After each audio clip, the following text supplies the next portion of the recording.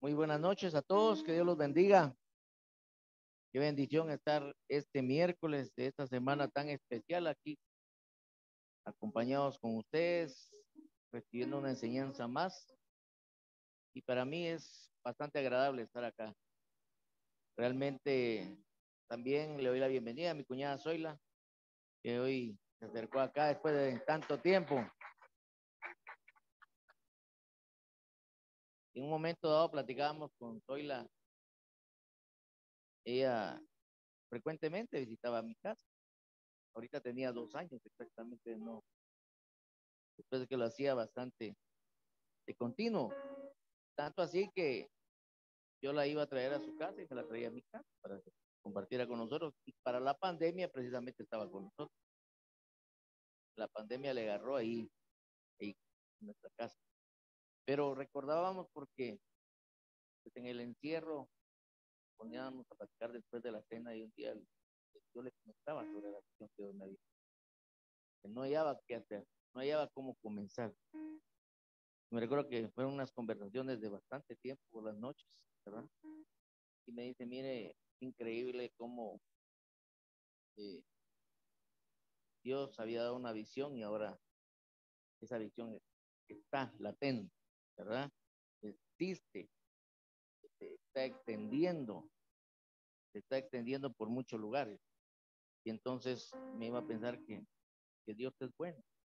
Aparte de eso, obviamente que mi cuñada pues conoce mi pasado, toda mi trayectoria. Y, y eso a mí me llena, me llena de, de alegría y de gozo porque uno puede testificar de lo que Dios ha hecho de lo que Dios ha hecho en nuestras vidas. Y creo que eso es lo importante. Nosotros como discípulos de Jesús tenemos que testificar delante de la gente que nos conoce lo que Dios está haciendo en O sea, no podemos decir, mire, eh, es que yo soy cristiano porque estoy asistiendo a tal iglesia. O soy cristiano porque estoy asistiendo a un discipulado. No, porque están viendo frutos en nosotros. Eso es lo más importante. Eh, que sea la gente la que dé ese testimonio. Y entonces creo que para eso es que estamos acá en esta escuela de liderazgo, donde estamos aprendiendo de continuo. Aprendemos para poder dar. Eso es lo, lo importante, ¿verdad? Todas las enseñanzas es porque en un momento dado, de hecho, en Vencedores Café, todos estos principios cristianos, nosotros a las personas de Vencedores Café tenemos que enseñárselas. A los de Casa Transformación, Zona 1, a Casa Transformación Izabal, los de los grupos de WhatsApp, también a la, no digamos la iglesia. Esto, estos son eh, principios básicos del cristianismo y que tenemos que ponerlos en práctica en las personas, ¿verdad? Entonces, no sé si tenemos gente conectada. Gracias, ahí están. Gracias a los que están conectados en la plataforma de Zoom. Ahí está Gerwin desde la Maca también conectado. Mandamos un fuerte saludo ahí a Champeric. Y bien, hace ocho días pregunté, hoy vuelvo a preguntar, ¿quién no ha faltado a un discipulado? A ninguno. ¿Cuántos hay? Uno, dos, tres. Tú ya faltaste. Presencial va a recibir el premio. Sí presencial es el que va a, recibir el premio.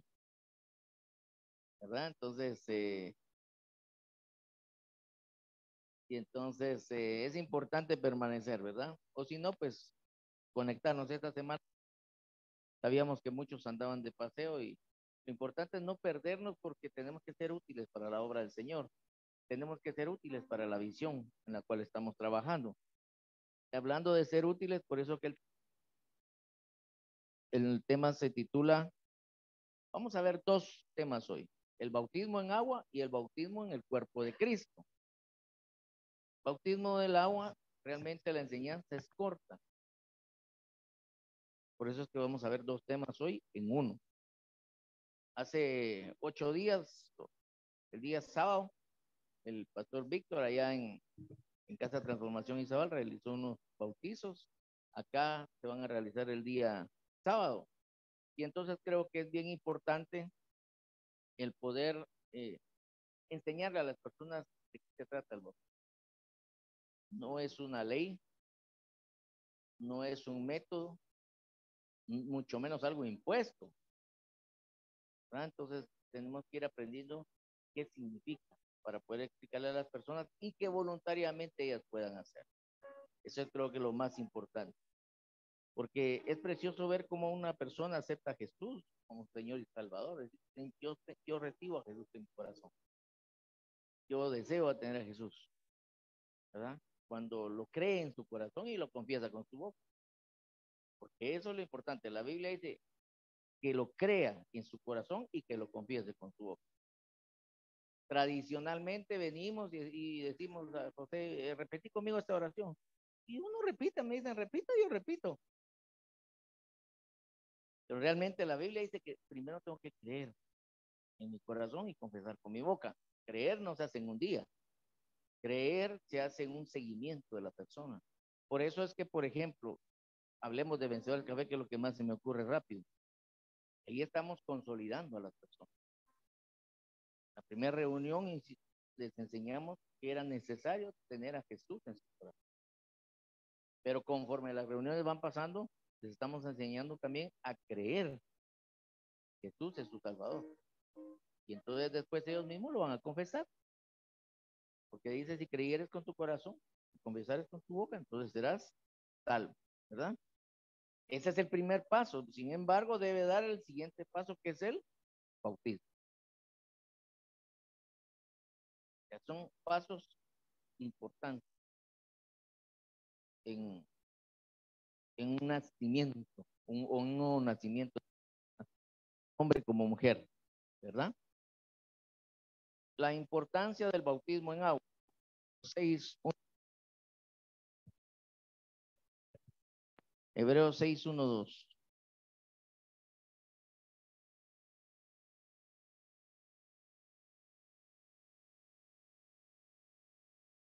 Dice Hebreos 6, 1, 2. Por tanto, Dejando ya los rudimentos de la doctrina de Cristo, vamos adelante a la perfección, no echando otra vez el fundamento de arrepentimiento de obras muertas, de la fe en Dios, de la doctrina de bautismo, de la imposición de manos, de la resurrección de los muertos y del juicio eterno.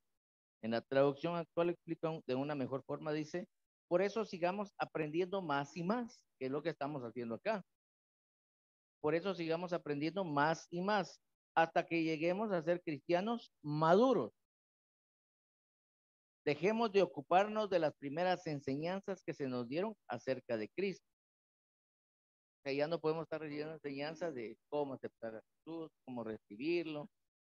Ya pasamos por esa etapa. Y no sigamos hablando de cosas simples. Dejemos de hacer lo malo, sigamos a Cristo y dejemos de pecar para no morir. Ya sabemos que debemos confiar en Dios y que debemos bautizarnos. Eso ya lo deberíamos de saber. Ahora por eso lo vamos a enseñar. También sabemos que los que creen en Cristo reciben el Espíritu Santo, que los muertos volverán a vivir y que habrá un juicio final. Entonces el apóstol Pablo está diciendo, ya no deberíamos estar hablando de esto pero hoy es necesario hablarlo porque lo necesitamos enseñar, ¿verdad? Entonces, pero el apóstol Pablo está diciendo que el bautizarse es parte de los principios cristianos para poder llegar a ser un buen servidor de Cristo. Entonces, después de recibir a Jesús en su corazón, de creer que Él salvó, me salvó, perdonó mis pecados entonces el siguiente paso para confirmar lo que estoy creyendo es el bautizo. Con el bautizo la persona está confirmando. Ayer compartíamos con Caleb y con Rodolfo y les decía, yo recuerdo cuando regresé de mi encuentro, para mí todo esto era nuevo. Nunca lo había leído, mucho menos me lo habían enseñado. Era nuevo, pero realmente yo sentí que que Jesús me estaba ofreciendo una nueva forma de vivir. Yo estaba aburrido de vivir la antigua manera. Y entonces yo salí de ese lugar creyendo que Jesús era mi salvador. Y sentí la necesidad dentro de mi ser, la urgencia de ser bautizado. yo sentí la necesidad. No lo hice porque me impusieron, no lo hice porque tenía, porque la iglesia así lo decía, lo hice porque realmente sentí la necesidad de confirmar en quién había creído. Eso es lo más importante. Entonces, el bautizo es un acto de obediencia. Diga conmigo acto de obediencia. Si alguien que recibe a Jesús como su Salvador le cuesta dar ese paso tan sencillo de obediencia, ¿cómo puede dar los siguientes pasos? Y el más sencillo no lo puede dar. Es un paso tan sencillo de obediencia. Simplemente estoy confirmando en quién he creído. Marcos 16, 15.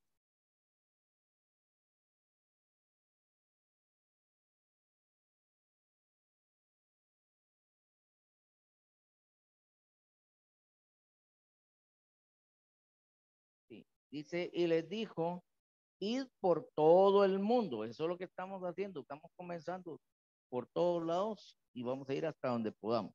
Id por todo el mundo y predicad el evangelio a toda criatura. El que creyere y fuere bautizado será salvo, mas el que no creyere será condenado. El que cree en Jesús será salvo. El que no crea en Jesús será condenado. ¿verdad? Entonces, eh, pero dice el que creyere y fuere bautizado.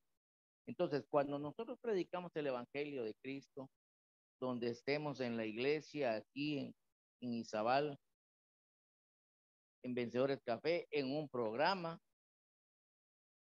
tenemos que ir poco a poco invitando a la gente a dar el siguiente paso. La gente que nosotros veamos que sí está creyendo en Jesús. Hay que darles un seguimiento, hay que ayudarlos son criaturas, son bebés en el cristianismo. Y entonces hay que comenzar a instruirlos para que puedan llegar a, tomar el bautismo como un acto de obediencia, ¿verdad? Y no obediencia a nosotros, no obediencia al ministerio, es obediencia a Dios a través de sus escrituras, ¿verdad? Entonces, pero hay algo bien que quiero aclarar. Yo tengo que motivar a la gente. Nunca hacerlo de una forma forzada. No funciona. No podemos, es un acto voluntario. Recibir a Jesús y decidir que Él gobierna mi vida es un acto voluntario. Entonces, bautizarse debería de ser un acto también voluntario. La persona diga, sí deseo. Por eso la necesidad de que nosotros expliquemos bien qué es lo que está, qué paso está dando, qué está haciendo, ¿O qué va a hacer a través del bautismo? Dar un paso de obediencia, sin forzar a nadie. Amén. El tema del bautismo, en ese tema del bautismo existe mucha confusión. Yo pasé por eso, ¿verdad? Por eso es que estamos nosotros, eh, tenemos que estar bien sabidos para poder explicarles a las personas. Por ejemplo, yo recuerdo cuando cuando tenía que dar el paso tenía muchas dudas. Yo le dije a la persona que me instruía, le dije, mira, a mí me bautizaron de pequeño, por ejemplo. Y dice, está bien, perfecto. Pero este bautismo es diferente. Este bautismo es para confirmar en quién has creído. Entonces le dije, ¿puedo hacerlo? Claro. Entonces cuando no encontré topes, confrontamientos y todo lo que yo venía, me fue más fácil. Entonces nosotros tenemos que facilitarle las cosas a la gente, no empeorarse. Por eso es que es animar a las personas. Amén. Hay que animarlos, hay que explicarles. Entonces la Biblia nos enseña que primero se cree. Este ya es un acto voluntario. Primero se cree y luego se es bautizado. ¿Verdad? Dos actos voluntarios. Nadie se le puede decir a la fuerza, mire, acepte a Jesús como Señor y Salvador. No, cada quien decide. De hecho, por eso les digo, hay que trabajar en las personas. Hay que darle seguimiento para que ellos puedan llegar a creer que verdaderamente Jesús quiere cambiar tu vida. Eh, esta semana hablaba con un amigo mío y se está pasando situaciones difíciles. Y me decía, yo le pregunto a Jesús, ¿qué quiere de mi vida? y le dije, yo puedo ayudarte a saber qué es lo que quiere de tu hijo. Lo difícil está saber si vos querés hacer lo que él quiere. Una cosa es saber qué es lo que él quiere y otra cosa es decidir hacerlo. ¿Estás decidido a hacer lo que él quiere de tu vida? Porque yo te lo puedo enseñar a través de la palabra, no con una enseñanza humana, a través de la palabra. Y en eso estoy enseñando, para motivarlo a llegar a la culminación enseñarle a las personas, ¿verdad? Mateo 3:16.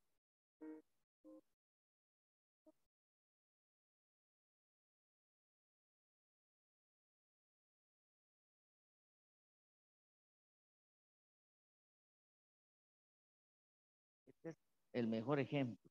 Jesús es el mejor ejemplo de todo. Mateo 3:16 dice, y Jesús después que fue bautizado, subió luego del agua, y aquí los cielos le fueron abiertos, y dio al Espíritu de Dios que descendía como paloma y venía sobre él.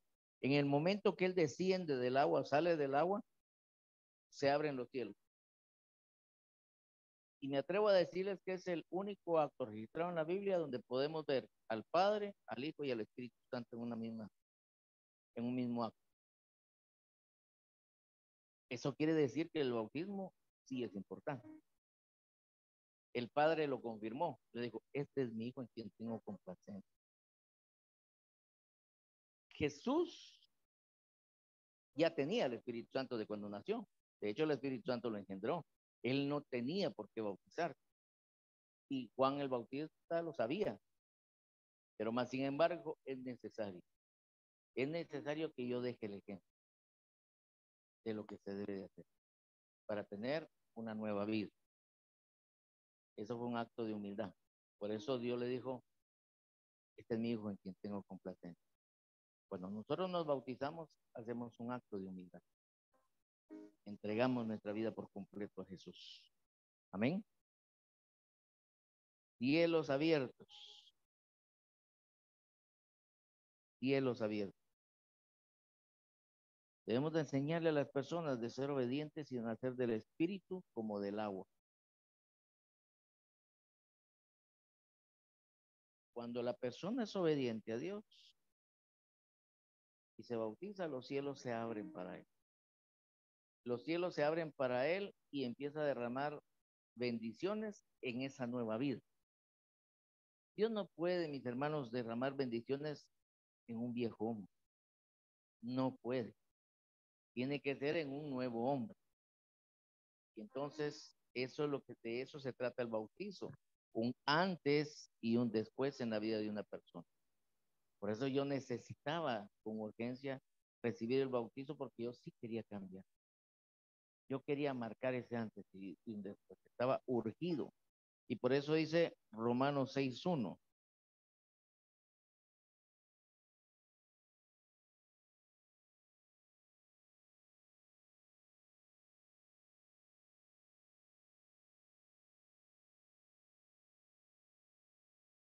Romanos 6.1 dice el apóstol Pablo, ¿qué pues diremos? ¿Perseveraremos en el pecado para que la gracia abunde? ¿Estaremos pecando constantemente? En ninguna manera, porque los que hemos muerto al pecado, ¿cómo viviremos aún en él? si somos nuevos hombres, no podemos vivir con la misma naturaleza pasada. ¿O no sabéis que todos los que hemos sido bautizados en Cristo Jesús, hemos sido bautizados en su muerte? Porque somos sepultados juntamente con Él para muerte por el bautismo a fin de que como Cristo resucitó de los muertos por la gloria del Padre, así también nosotros andemos en nueva vida. Porque si fuimos plantados juntamente con Él en la semejanza de su muerte, así también lo seremos en la de, en la de su resurrección. Sabiendo esto, que nuestro viejo hombre fue crucificado juntamente con Él. Eso es a través del bautizo para que el cuerpo del pecado sea destruido, a fin de que no sirvamos más al pecado, porque el que ha muerto ha sido justificado del pecado. y morimos con Cristo, creemos que también viviremos con Él. Después del bautismo, mis hermanos, nunca, jamás podremos ser los mismos. Se muere. Ahí se muere Andy. Ahí se muere José. Ahí se murió Harry. Yo necesitaba que ese antiguo Harry se muriera. Tenía que morir. No podía edificar en algo viejo. Por eso dice la escritura que no puede poner un parche nuevo, vestido viejo. Que si no se rompe. Tiene que ser un vestido completamente nuevo. El bautismo es ser una vida completamente nueva. Nosotros que estamos ayudando a personas con adicciones, tenemos que llevarlos por ese rumbo. Porque si no llegan al bautismo, están creyendo crecer con un viejo hombre, con una vieja naturaleza y no funciona, porque el pecado estará latente en ellos. Entonces, al sumergirnos al agua, morimos en nuestra vida pasada. Al salir de ella, somos resucitados como Cristo fue resucitado. Pareciera un acto tan simple, pero cuando es de fe, las cosas suceden. Allí, yo les decía, contaba ayer la experiencia a ellos. Sabes, de mi bautismo fue tanta la presencia del Espíritu Santo que estaba en ese lugar que cuando me sumergieron y salí, el Espíritu me tomó que yo recasé. Me tuvieron que sacar cargado. Y estuve un tiempo, no sé, pero ahí me pusieron una horita porque había que bautizar más gente. Fue tanto lo notable que se había muerto el antiguo hombre. Y tanto pude sentir la presencia del Espíritu Santo cuando salió en el nuevo hombre. Entonces, mis hermanos, este es un acto. Un acto donde podemos ver la presencia del Espíritu Santo. Pero nosotros, como guías, como líderes, como futuros pastores, tenemos que saber qué es lo que hacemos. Tenemos que saber cómo lo explicamos para que las personas puedan experimentar verdaderamente. Para que no digan, no, es que me va a bautizar porque como Andy se va a bautizar, nos bautizamos, son patojos, ¿verdad? Hacémosle todos juntos, hagámoslo. Hay que explicarle bien para que las cosas funcionen. Amén. ¿Alguna duda hasta dónde vamos? Sí, José. Voy a pasar el micrófono para que te escuchen ahí. Dios les bendiga, hermanos. Buenas noches. Eh, dice bastante que yo tuve una experiencia con una persona, pues eh, cuando yo me bauticé, eh, la persona lo hizo porque pues, ese era mi amigo, ¿va? es mi amigo todavía hasta hoy en día, pero él lo hizo porque yo lo hice, ¿va? pero en ese momento yo no, yo no lo, yo no lo supe, ¿sí? pero eh, con el tiempo, pues él, me explicó de que él lo había hecho porque solo por la emoción de verme a mí. Eh, gracias a Dios, pues él ya recibió una instrucción y todo, va, y, y lo, y lo, y, lo, por decirlo, lo volvió a hacer porque eso, él lo hizo solo porque él, no sé, no hubo una explicación así como la están dando, pues. pero eh, también hubo alguien, pastor, de que me decía, mira, me decía, si alguien acepta a Cristo, pasa un tiempo eh, sin bautizarse y lo visita la muerte, ¿qué sucede? Me decía. Entonces me hizo una buena pregunta, me quedé yo, pues, eh, le dije, mira, vamos mejor, eh, leamos la Biblia, qué es lo que nos dice, porque no te quiero decir algo que, humanamente, pues, ¿verdad? Porque creo que lo voy a, lo voy a chambear, dije yo. Pero él me decía, no, yo solo te hacía la pregunta, me decía, ¿qué, qué pasa si alguien pasa así? Me dijo, y y no se bautiza, me, porque la Biblia dice que, uno tiene que aceptar y, ser bautizado, me, pero si él pasa un tiempo sin bautizarse y, y lo visita la muerte, me decía, ¿va? solamente pastor.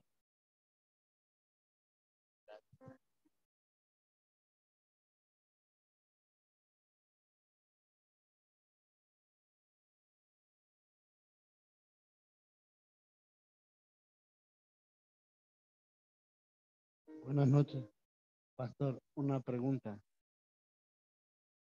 Si en algún momento uno de la vida ha tenido, pueda decirlo así, que me perdone el Señor, un error. Tal vez en el lugar donde me encontraba era una cárcel. Pero una pila grande. Ah, mucha gente bautizándose. Y era tiempo de Semana Santa. Calientísimo. Gente, todo el mundo se estaba metiendo, o sea, nunca concientizaron a la persona lo que está haciendo en este momento. De repente, ¿qué validez puede tener eh, un bautizo donde yo no, no sabía? Yo solo me metía a la pila porque fue así, por la calor y andar mojada la ropa. O sea, yo soy honesto, yo fui una de esas personas, pero yo no, ni, tan siquiera a la iglesia me asomaba. Como yo mire que todos estaban metiendo y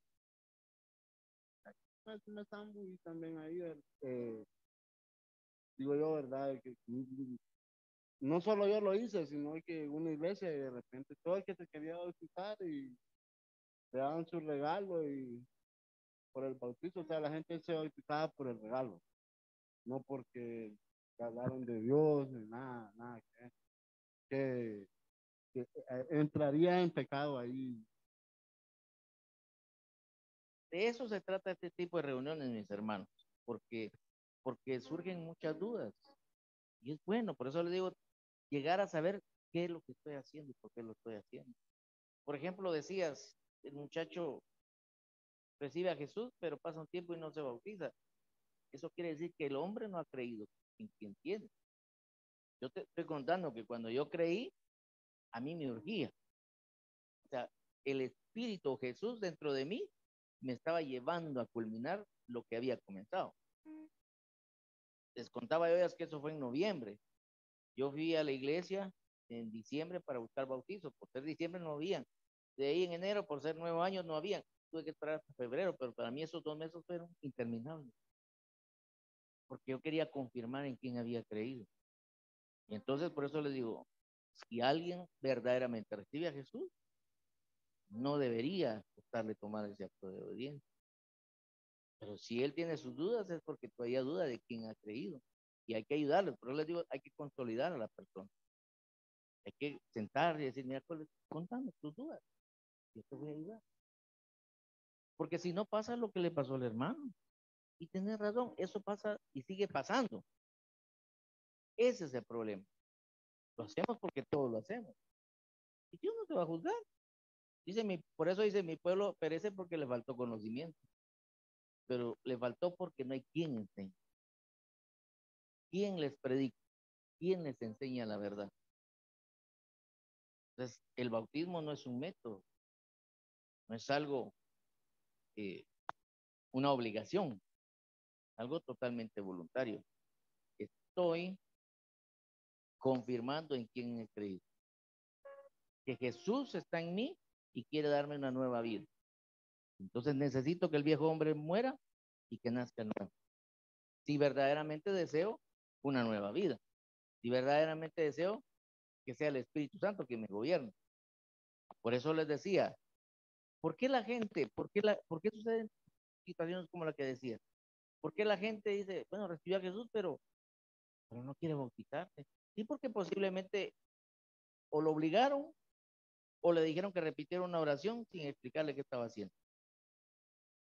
Y él lo hizo porque, como les digo, a mí si me dicen repetir esto, yo lo repito.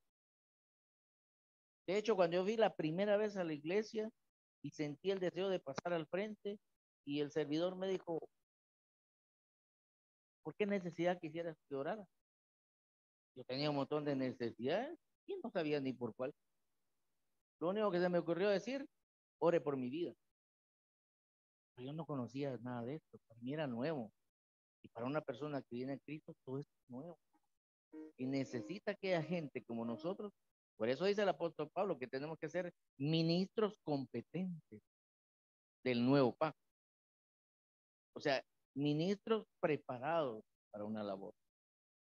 Y entonces vamos a ser más eficaces con las personas que trabajemos.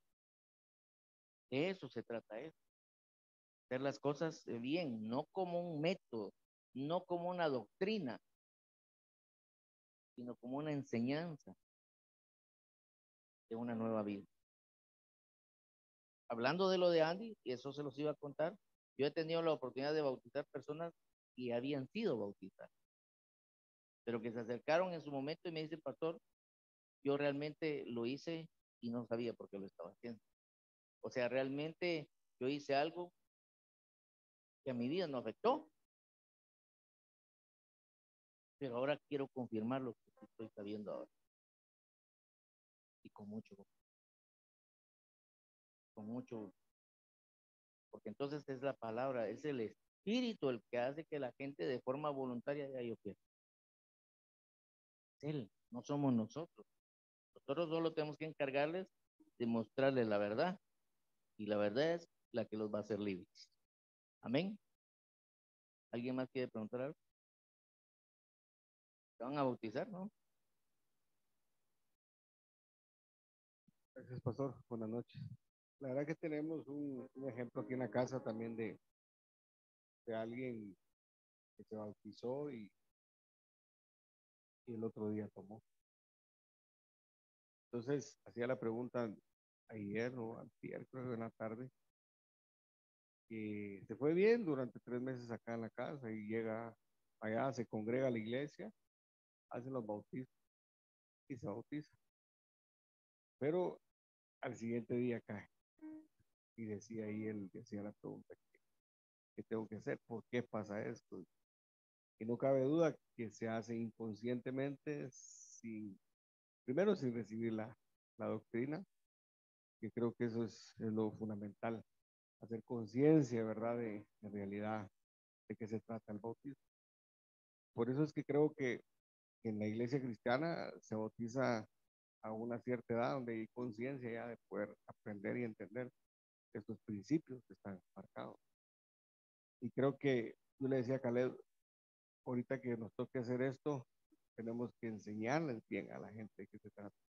Usted lo decía hace un ratito, todos van a querer porque quieren, porque ven al otro, porque quieren estar dentro de Sí, por emoción. Entonces, es bien importante. Yo también recuerdo que me bauticé al final de la iglesia, palabra mía, al final del Naranjo, y, y estaba interno cuando me bauticé, de Adulán nos llevaron ahí, y fue una experiencia sobrenatural, ¿verdad? De ver cómo, cómo moría el viejo hombre y cómo salía el nuevo hombre. Entonces, creo que tiene que existir un acto de fe, de, de, de confianza y de seguridad en lo que estamos haciendo igual que todos los principios que hay, como el ayuno también, y tantas cosas que, que nos han dado resultados. Entonces, al ver los resultados, la gente cree.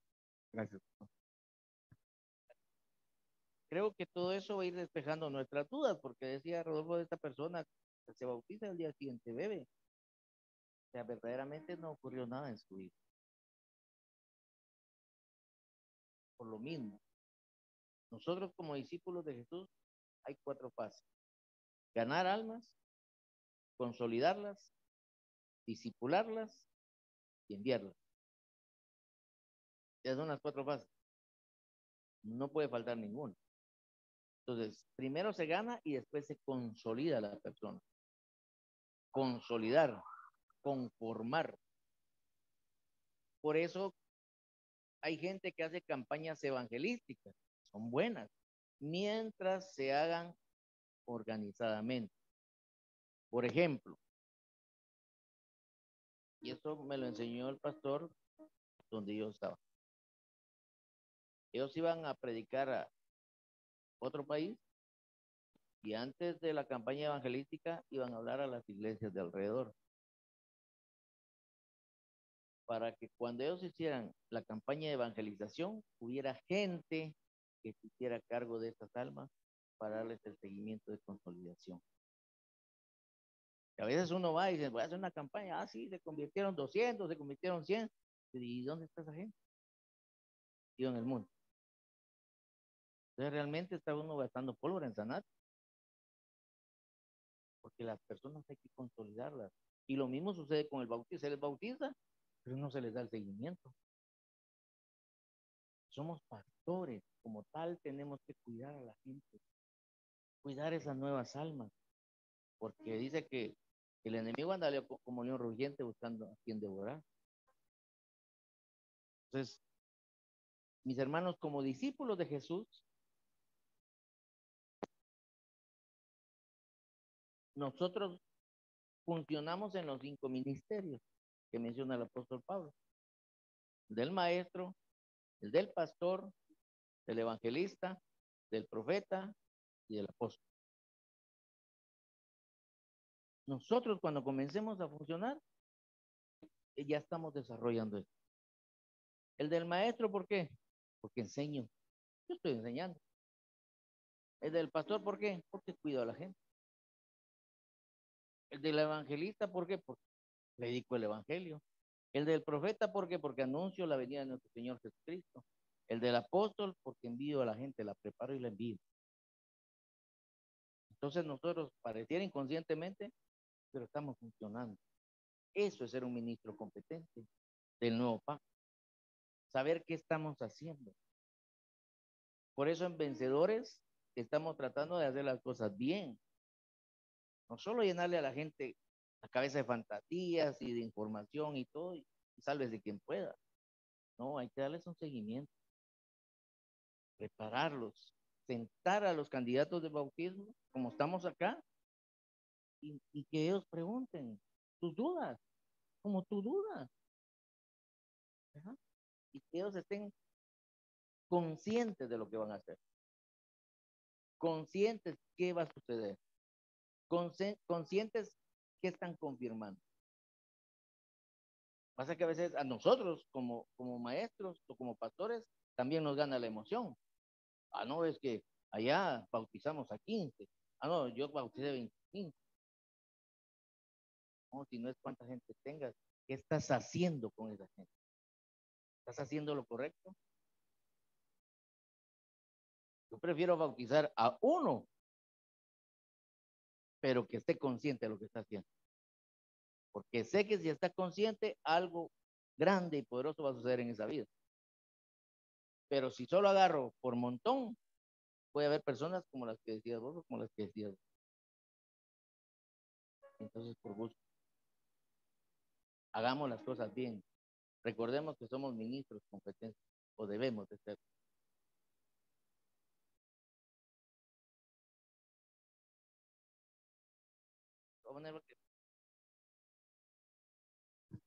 El, día que, que sucedió eso, ese día se bautizaron como, como unas 400 personas.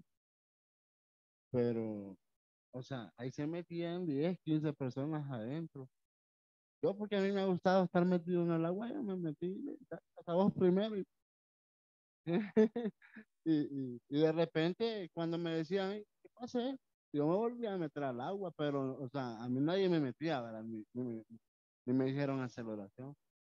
Sino que me, salí y cabal, pero yo siempre, o sea, llevo años, porque eso fue muchos años, eh, y haciéndome la pregunta de que, sé que hice mal, va, sé que hice mal, pero me imagino yo también, ¿verdad? De que no solo yo estaba equivocado, sino que también la persona que llegó a, a bautizar, ¿verdad? Porque él solo decía, tomaba las fotos y, de repente nadie, nadie, como usted lo estaba en ese momento diciendo, "Mm, nadie le dio continuidad y que José se, se bautizó y vamos a ver cómo sigue José. O sea, llegaron una vez, no volvieron a llegar y como quien dice, no pasó nada. Amén. Te voy a quitar un peso de encima. ¿Quién cometió el error? ¿El alumno o el maestro? Tú no sabías. Mi pueblo perece porque le faltó conocimiento. Es al maestro. Por eso que nosotros tenemos una gran responsabilidad delante de Dios. De cómo hacerla. Él no. Él no sabía. Le dijeron, venite, metete y se metió. Cualquiera lo hace. Pero nosotros, ¿qué estamos haciendo? Esto es lo importante. Solo de bautizar. Saber hacer qué es lo que estamos haciendo. Darle el seguimiento. Cuidarlos. Por eso les decía, con trabajo pastoral. Sea dos personas que tengamos pastoreando, pero cuidarlo. Cuidar este fruto del Espíritu. ¿verdad? Mí me cuidaron hasta que comencé a andar de nuevo en una nueva vida. Amén. Hechos 10:44.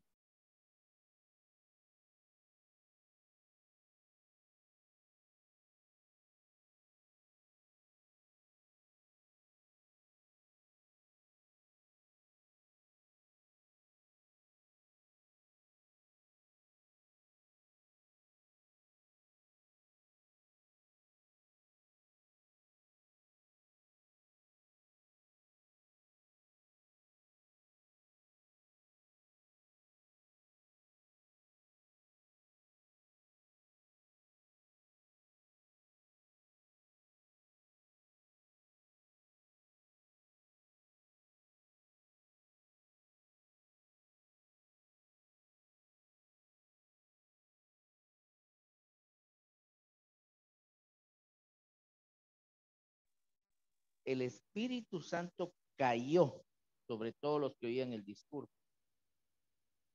De la importancia de cuando uno predica y busca el respaldo de Dios a través de la palabra. No lo hace por hacerlo. Entonces la presencia de Dios cae. Y los fieles de la circuncisión que habían venido con Pedro se quedaron atónitos de que también sobre los gentiles se derramase el don del Espíritu Santo, porque los oían que hablaban, hablaban en lenguas y que magnificaban a Dios.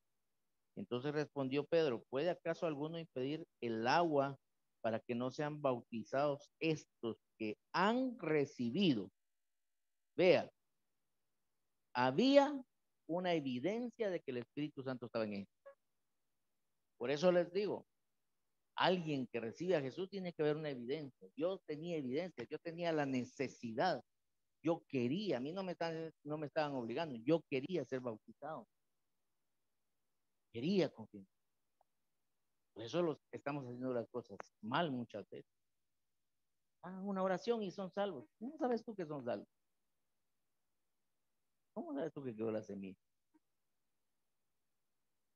La gente hay que explicarle, la gente hay que atraerla, por eso le digo hay que consolidarla. La campaña evangelística es bueno hacerla siempre y cuando sepas quién le va a dar seguimiento a. Entonces un día va a haber fruto. De lo contrario, no podemos solo ir así. Amén. Entonces dice, ¿puede acaso alguno impedir el agua para que no sean bautizadas, bautizados estos que han recibido el Espíritu Santo también como nosotros? Y mandó bautizarles en el nombre del Señor Jesús. Entonces le rogaron que se quedase por algunos días. Ellos querían, miren mis hermanos, cuando uno viene una nueva vida, uno quiere aprender. Uno tiene la gran necesidad de la palabra. Pero una palabra enseñada, una gran necesidad de aprender, de seguir edificando. Porque cuando sale uno, el nuevo hombre está a cero kilómetros. Entonces empieza a necesitar a renovar su mente a través de la palabra de Dios. Por eso se llama consolidación, estar cuidando a la persona, cuidando a la persona, cuidando a la persona, después de ser bautizado. Esa es una buena labor. Tenemos que aprender a hacer las cosas no a medias, bien hechas, bien hechas.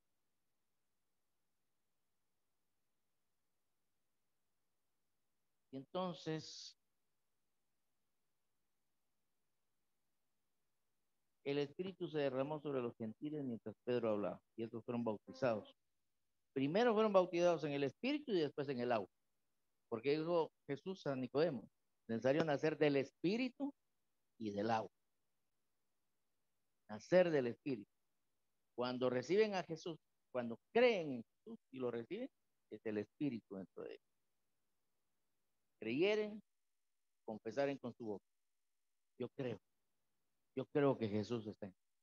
Yo creo que Jesús me va a dar una nueva vida. Él es el que lo tiene que. O ella. Entonces le das un seguimiento hasta el momento que dice, mire, yo creo. Claro que sí, yo creo. Bueno, entonces el siguiente paso es lo que ellos solitos van a hacer. y hay que seguir cuidando. Los primeros rudimentos, dice el apóstol Pablo. Amén. ¿Algo más antes de cerrar este tema?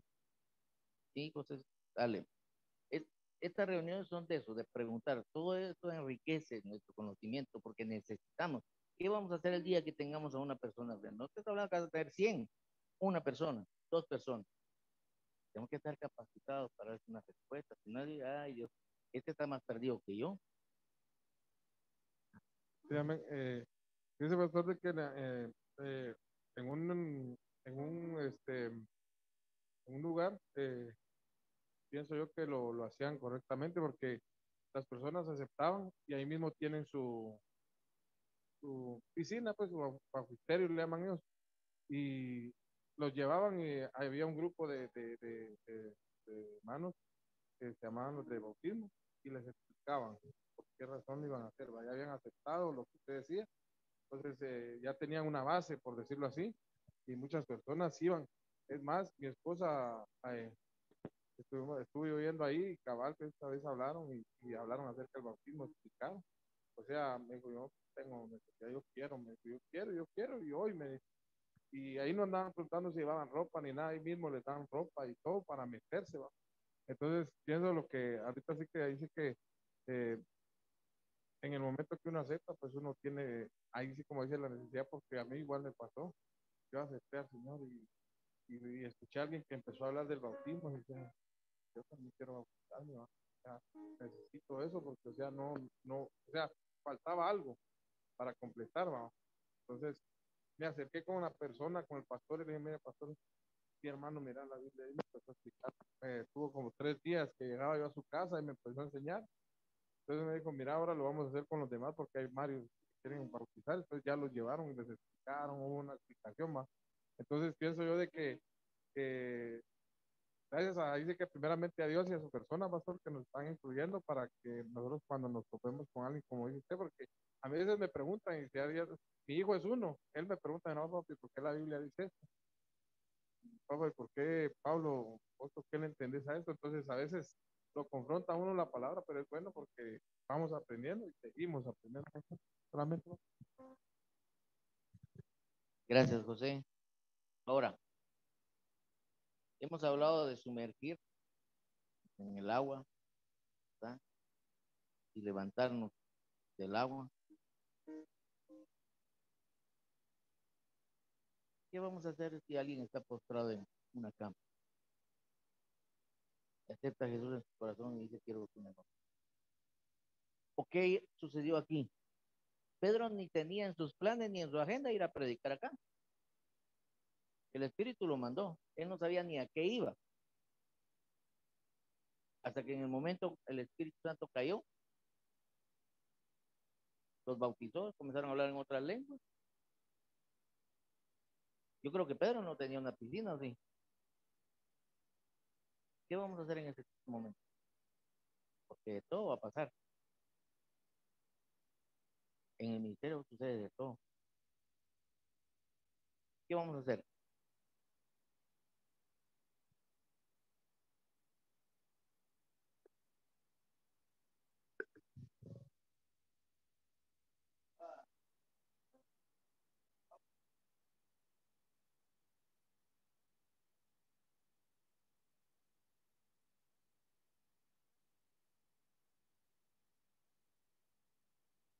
Es que es donde les digo, no es un método. Tenemos que sacarnos. de- Entonces tiene que haber una piscina, porque si no, no, ¿cómo le vamos a hacer? El hombre se muere.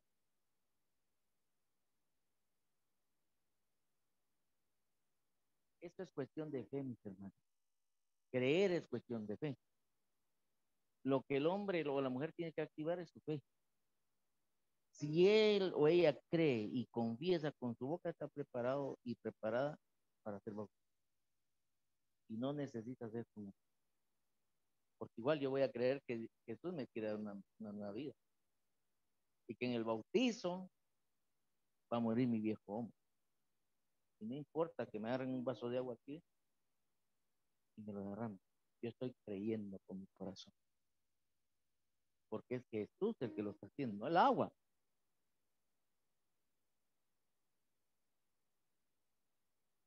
Claro, pero, o sea, eso significa, pero, pero si yo creo que Jesús sí me va a dar una nueva vida, me va a dar salvación a través del bautismo. Ananías dice que agarró una jarra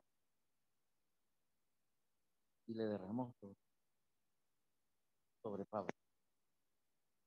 Era una, una cosa que no podía quedar para otro día.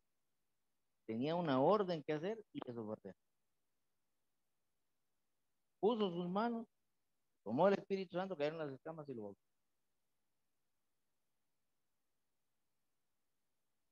Entonces tenemos que saber qué hacer en situaciones no difíciles, simplemente tener conocimiento de qué hacer. Es cuestión de fe. Porque si el hombre no tiene fe, lo puedes meter a- al mismo Jordán y no pasa nada en su vida. Cuestión de fe, mis hermanos. Cuestión de fe. Entonces tenemos que estar preparados para todo, porque se nos va a presentar de todo. Pero tenemos que ser ministros competentes. Esto no es cuestión de religión. Si hay un bautisterio, pues qué bueno. Si hay un lugar, pues qué bueno. Pero si no hay, la urgencia del alma de la persona. Que sepamos qué hacer. Esto no lo traía acá, esto el Espíritu me lo puso. Eso quiere decir que sí va a suceder en alguno de ustedes en algún momento. Y se van a recordar. Pero lo bueno más, lo más importante es que van a saber qué hacer. O sea, estamos, o sea, no estamos inventando nada. Estamos trabajando en base a lo que está escrito y los ejemplos de Jesús, ejemplos del apóstol Pedro, los ejemplos del apóstol Pablo, a un Felipe, una poza que encontraron en el camino. El mismo hombre creyó, el eunuco, y le dijo a Felipe, ¿qué impide que yo sea bautizado, que sean esa cosita que está ahí? Y no cabía el, hombre. Pero era tanta su necesidad ante la revelación de la palabra que le había dado Felipe, que él tenía la necesidad. ¿Qué me impide? Lo más importante es lo que la persona Yo sí creo, el Espíritu está sobre mí, esa onda está ardiendo allá adentro. Que no importa si me hacen con el agua así, si me ponen algo, me- no sé. Lo más importante es lo que yo estoy creyendo. Sí, eh, siempre no es el agua, no es la fe. Por eso son estas controversias, prácticamente son religiosas, ¿verdad? Que si no se puede bautizar a los niños, que si se puede, que la Biblia está, ahí está la cita donde no importa, eh, el Espíritu Santo puede eh, estar en los niños, entonces no es nada malo, ¿verdad? Porque realmente hay en su vida, claro. En ese momento ellos no tienen conciencia de eso, pero ¿qué más tienen? Ellos reciban el Espíritu Santo de vez, por ejemplo, ¿verdad? Pero son las controversias que siempre decimos. Y en la Biblia hay varias citas de bautizos de, de niños, pues, de en varias citas de la Biblia, ¿verdad? Pero es por lo mismo, porque las personas dejan llevar por costumbrismos, por, eh, por el agua. Muchos piensan que, que porque, ah, es que el padre, por favor, venga a decir mi, casa, eche agua bendita. Porque, hombre, es que no es el agua. Me decían muchos, yo puedo llevar una manguera a su casa, ¿va? puedo regar ahí de agua bendita, pero si usted no tiene fe, eso no funciona. Es lo mismo que decía el pastor, ¿verdad? Eh, yo me pudiera meter a la- al río más hondo para que vuelva a salir, pero si no lo hago con fe, realmente no es válido. No es válido, porque eh, he visto yo muchas personas que dicen, "Puta, ya estoy bautizado, ya soy nueva persona, y al poco tiempo lo vemos obrando mal, ¿verdad? Uno mismo lo ha hecho, ¿verdad? Entonces realmente yo pienso que es un acto de fe, donde lo principal no es el agua, lo principal es el Espíritu Santo. Definitivamente, como decía Harry, eh, yo he, visto personas que realmente no están bautizadas, pero ya en su lecho de muerte, en extrema unción, como le dicen en la iglesia donde yo asisto, que ellos piden ser bautizados. El padre no pide una palangana o una manguera para echar, no, simplemente un vasito, ¿verdad? Y te mojas cabeza. No es la cantidad no es que sea agua bendita, no es que sea agua de Roma, no es que sea agua del Jordán, no es que fueron a sacar el agua a, la iglesia o al templo eh, más venerado, no, creo que todo eso simplemente son simbolismos, ¿verdad? Yo así lo pienso. Lo que realmente nos va a mover, lo que realmente es agradable al Señor es la fe. Esa viene del corazón de todos. ¿Y cómo es que la recibimos? Con la palabra del Señor, definitivamente. Nosotros estamos recibiendo la palabra y la palabra en algún momento va a salir esa agua de nuestro corazón y en la que realmente mueve la fe. Definitivamente así es, mis hermanos. O sea, quitándoles lo religioso, lo cultural, lo tradicional y dejando solamente la fe. En fe es imposible agradar a Dios. Como decía Alfredo, en la iglesia católica se habla del agua bendita y en la iglesia evangélica habla, ah, utilizan el aceite. Hay hermanitas que escuchan, ahí tengo mi frasco de aceite, cualquier cosa del aceite. Aceite es precisamente el nombre que digo, es un simbolismo. El Espíritu Santo. Es el Espíritu Santo. Un día alguien me enseñó, porque alguien compró su carro, me dijo, mira, quiero que ores por mi carro. Y yo oro por el carro. Entonces, este líder me dijo, mira, los carros no hay que orar por el piloto, por el carro, ¿no? ¿Qué sirve que prediques, eh, bendigas el carro y el piloto parece loco o anda maltratando a la gente en el tráfico? Hay que bendecir y hay que orar por el piloto. ¿Ah? Entonces, todas esas cosas son las que hay que ir aprendiendo y haciéndolas de la mejor forma, ¿verdad? ¿Algo más antes de cerrar este tema? Bueno, ok. Entonces, ese es el bautismo del agua. Como les decía, es bien sencillo, es bien simple, pero preparémonos cuando le hablemos a las personas. Pongámonos en manos del Espíritu Santo y que sean eh, las palabras de Él, su presencia, así como hizo Pedro, hablando y cayó la presencia del Espíritu Santo.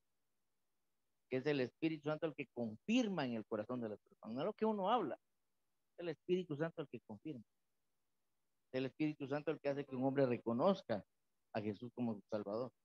Él, no somos nosotros. Y bien, entonces vamos a ir al segundo tema que se titula Bautismo en el cuerpo de Cristo.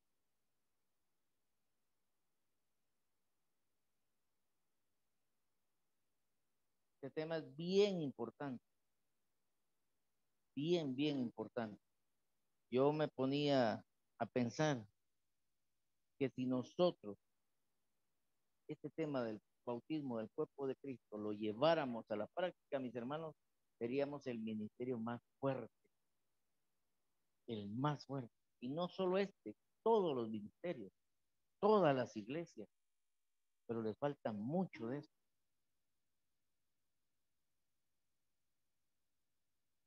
Bautismo en agua lo vemos como un acto de obediencia, Y ahora vamos a ver el bautismo en el cuerpo de Cristo y quién lo realiza. Hay tres tipos de bautismo según la Biblia. El bautismo en agua, el bautismo en el Espíritu Santo y el bautismo en el cuerpo de Cristo. Siguiente tema era el bautismo del Espíritu Santo, pero eh, eso lo voy a tomar en un solo tema en la próxima semana. Ahorita incluí estos dos para que el tiempo alcanzara. Entonces, tres bautismos que la Biblia habla. El bautismo en agua, ya lo vimos, es una orden para salvación y es efectuado por los hombres. El bautismo en el Espíritu Santo es un regalo que Él nos da para investirnos de poder y es efectuado por Jesús. La unción. Y el bautismo en el cuerpo de Cristo es para unirnos en un solo equipo y funcionar como un solo cuerpo. Y esto lo realiza el Espíritu Santo. Ese es el bautismo en el cuerpo de Cristo. Es importante para unirnos en un solo equipo y funcionar como un solo cuerpo. y lo realiza el Espíritu Santo. Y vamos a ir a 1 Corintios 12, 13.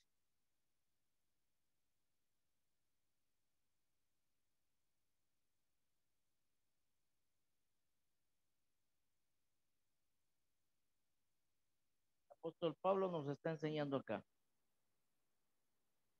Primera de Corintios 12, 13 dice, porque por un solo espíritu fuimos todos bautizados en un cuerpo.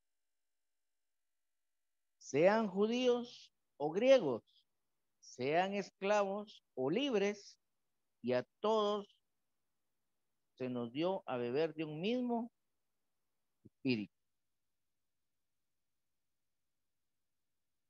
No importa, dice el apóstol Pablo, quién es, si es judío, si es griego, si es esclavo, si es rebelde. O sea, de dónde venga.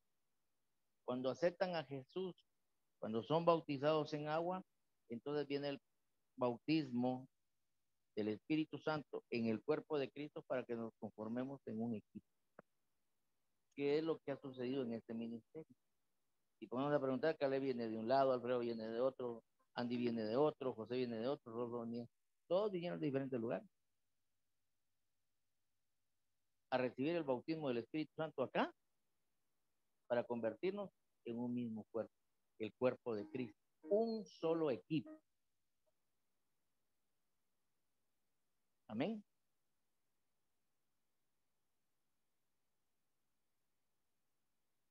Romanos 12, del 4 al 5.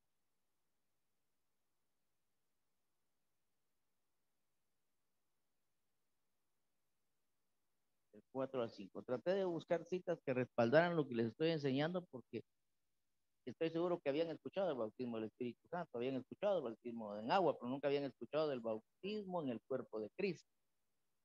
Por eso es que en las iglesias se vienen jalando los chongos,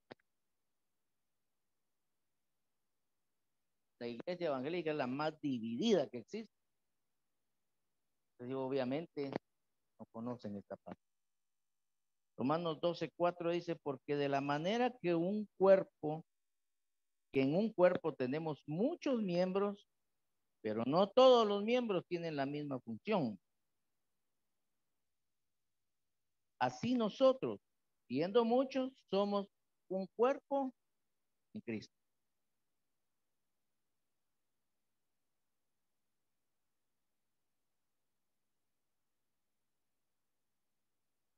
Muchos miembros. Un ministerio puede tener 25 miembros, puede tener 200 miembros, puede tener 2.000 miembros, pero todos deberían de trabajar en una misma función, con una misma visión. Somos muchos miembros, pero tienen la misma función. Así nosotros, siendo muchos, somos un cuerpo en Cristo. Entonces, el cuerpo de Cristo somos todos. Todos nosotros fuimos unidos por el Espíritu Santo, traídos por el Espíritu Santo. Estoy hablando de vencedores. Traídos de diferentes lugares, de diferentes, incluso departamentos. Imagínense el poder del Espíritu Santo. Diferentes ideologías diferentes conocimientos, todos traídos para conformarnos en un mismo cuerpo, el cuerpo de Cristo, unidos para una función, que es la visión. Todos funcionando. Amén.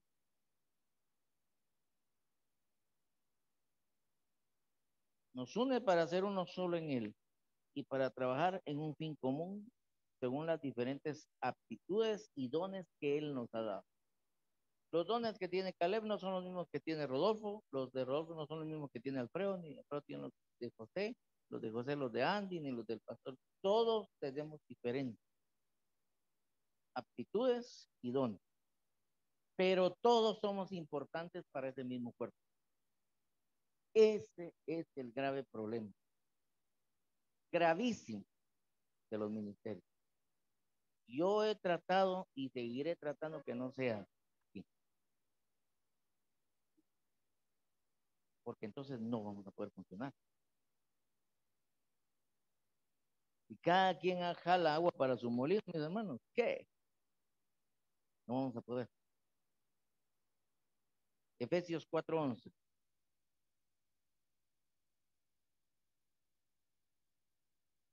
Efesios 4.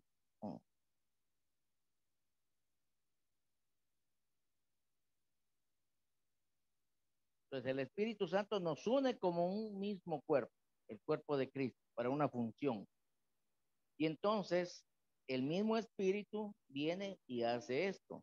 Y él mismo constituyó a unos apóstoles, a otros profetas, a otros evangelistas, a otros pastores y maestros, a fin de perfeccionar a los santos para la obra del ministerio, para la edificación del cuerpo de... Imagínense, a uno los constituyó como pastores, a otros apóstoles, a otros profetas, cada quien una misma función. ¿Qué es lo que sucede ahora en la iglesia de Cristo, entre comillas? Yo me creo más que aquel. Ah, no, es que aquel no es apóstol, no, aquel no es pastor, aquel no es esto, aquel. Empiezan a tirar los platos. ¿Qué edificación del cuerpo de Cristo hay, mis hermanos? O sea, nosotros con lo que hacemos, seguimos desmembrando el mismo cuerpo de Cristo. Seguimos mutilando el cuerpo de Cristo con nuestras acciones.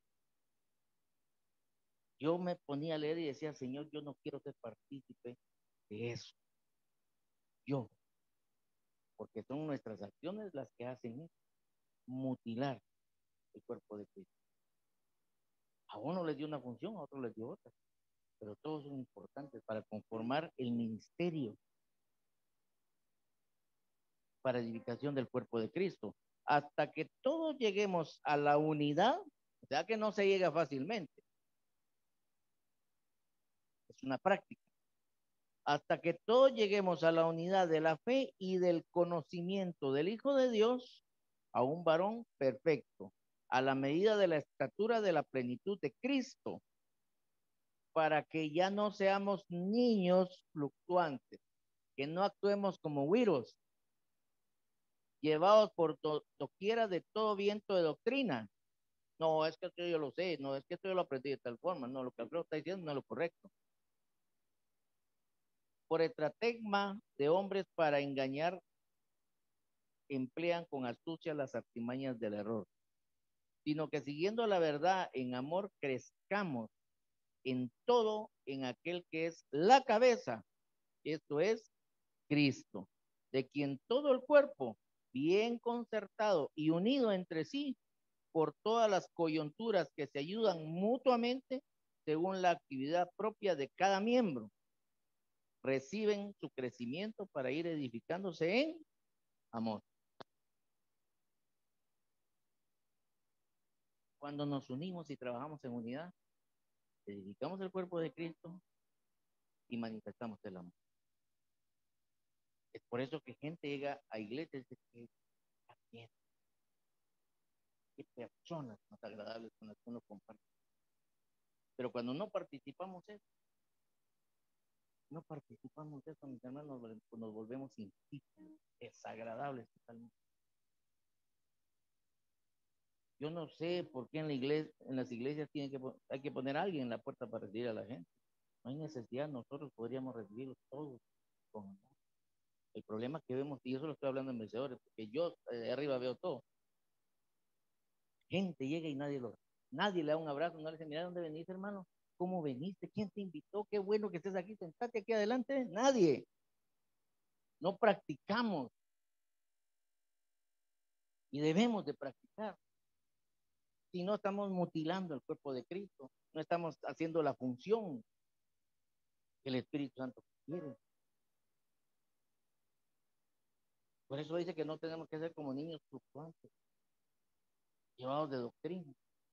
No, es que allá no se hacía así, no, allá ponía gente descargada, no. Una vez en Ishkan, estaba yo predicando y en medio de la predica venía un hombre entrando, ebrio. Yo seguí predicando y que voy a observar qué van a hacer con él. Ya sabía que iban a hacer con él, los que hacen siempre. Que los que estaban en la puerta lo agarraron. Me detuve y les dije, dejen entrar a ese hombre, por favor, y que se siente usted. Dije, puedes escuchar y después de que termine de predicar, quisiera hablar contigo. Y me terminé de predicar, se reconcilió con Jesús porque ya había conocido. Y yo me fui. Ese día o al día siguiente me fui. Siguiente año que regresé, el hombre me habló. Yo ni me recordaba. Pero yo soy aquel que entró en la iglesia. Aquel que usted se detuvo para que lo dejaran entrar. Entonces, si hay necesidad de detenernos por dejar entrar un alma, hay que hacerlo. Hay que parar, todo se para. ¿Y qué? ¿Qué pasa? No pasa nada. Es un alma. Pero tenemos que hacer esto, mis hermanos. Para ir edificándonos en amor. Entonces, existen dos tipos de crecimiento en el ministerio de vencedores. Y en todo ministerio, pero estoy hablando del nuestro. El crecimiento individual, esto es cada quien como persona. Y el crecimiento del cuerpo de Cristo, que es su iglesia. Apóstol Walter ha enseñado, en la iglesia nos volvemos un solo cuerpo. Pero tenemos que manifestar ese cuerpo. Cuerpo de Cristo. Siendo un, siendo miembro. De hecho, vamos a establecer eso, creo que desde hoy adelante hay que centrar a las personas que viven por primera vez. Darles ese privilegio, que se sientan honrados, que se sientan bien. Que alguien que se levante, hermano, pase para acá, ¿no? le voy a dar mi lugar, tierra mi lugar. Yo lo he visto y cuando han llegado personas que habían dejado de llegar y volvieron a llegar, mirar, que se sienten. Ya les privilegio, que se sientan bien. A eso vienen. Nosotros tenemos que hacer eso, mis hermanos. Nosotros tenemos que ser partícipes de eso. Si nosotros no lo hacemos, ¿quién lo? O seguimos mutilando el cuerpo de Cristo. Amén. Entonces debemos buscar que el cuerpo de Cristo crezca hasta que esté totalmente formado. Por eso les decía, este es el tiempo de la iglesia. Casa de transformación ya tiene todo establecido, ya solo es seguir trabajando, ya tiene normas, ya tiene reglamentos, todo. La iglesia es lo más importante.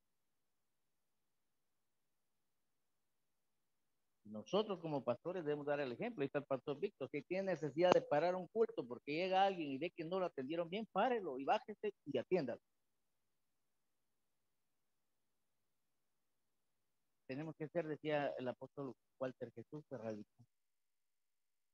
¿Por qué no vamos a ser nosotros radicales? Nadie lo hace, nosotros lo vamos a hacer. Dar el ejemplo como pastores. Amén. Entonces debemos de buscar que el cuerpo de Cristo crezca hasta que esté totalmente formado.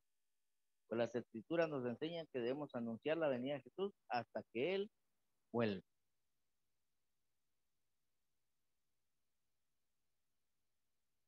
Entonces, a todos Dios nos ha dado diferentes dones. Unos cantan, otros predican, otros están en los programas diferentes dones. Pero lo que sí debemos nosotros de comprender y tener aquí en nuestra mente de ahora en adelante es que todo es para hacer un trabajo en el mismo cuerpo. Tenemos que llegar, dice el apóstol Pablo, a ese punto de la unidad. Cuando es una iglesia es más fácil, que todos estamos en un mismo templo. Fácil poder practicar. En un ministerio como este es un poco más difícil, porque está radio, está los programas, están los de WhatsApp, están y ahí miren ustedes, yo veo todos los días cómo se motiva el cuerpo de Cristo. Digo, no hay conocimiento todavía. Cada quien quiere salir adelante con lo que hace. Y eso no es el cuerpo de Cristo. Eso no es la visión. Eso no es la visión. Yo no estaría practicando eso si me hiciera más para casa de transformación zona uno y dejara por un lado vencedor del hambre y del frío, o dejar por allá a cabal o dejar a los grupos por un lado, dejar a vencedores. No, yo estoy para todo, porque yo soy parte de un cuerpo. y debo de practicar la unidad de este cuerpo de Cristo. ¿A través de quién? Del Espíritu Santo. Entonces, si alguien no practica eso, no hay evi- evidencia de que el Espíritu Santo tenga. ¿Sentido cómo es? Y entonces, ¿quién está obrando, pastor? Su carnalidad. Todavía no lo gobierna el Espíritu. A mí el Espíritu Santo no me deja. No me deja hacer eso. Yo le decía a un amigo que platiqué con él hace poco, le digo, mira, le dije, a mí algo que a mí, de verdad, y Lili lo sabe, algo que a mí me, me, molesta mucho es cuando desprecian, cuando hacen de menos a alguien. Eso es lo peor que puede pasar. Porque digo, entonces, ¿qué evangelio estamos diciendo? ¿Qué tipo de cristianos estamos siendo? O sea, vencedores no puede ser eso, mis hermanos. Tal vez yo lo hacía antes, pero aquí no puedo hacerlo. Vencedores tiene que ser diferentes. Un ministerio único por lo que hace, no por lo que dice. Eso habla, se habla de una responsabilidad nuestra. De cada uno, cada uno tomar la responsabilidad de hacer las cosas como Jesús quiere hacer. Y volvernos al cuerpo de Cristo. Amén. Somos un mismo cuerpo, cada quien con sus talentos. ¿Para qué? Realizamos una misma función, anunciar el Evangelio a toda criatura. Y todos somos necesarios. Todos. No hay una sola persona dentro de un ministerio que no sea necesario. Todos. Por eso les decía, ¿cómo miramos nosotros a la gente? Hasta el más, hasta el medio metro lo veo necesario. Hasta el que pareciera que no. Tengo que, yo tengo que edificar el cuerpo de Cristo, unir las partes,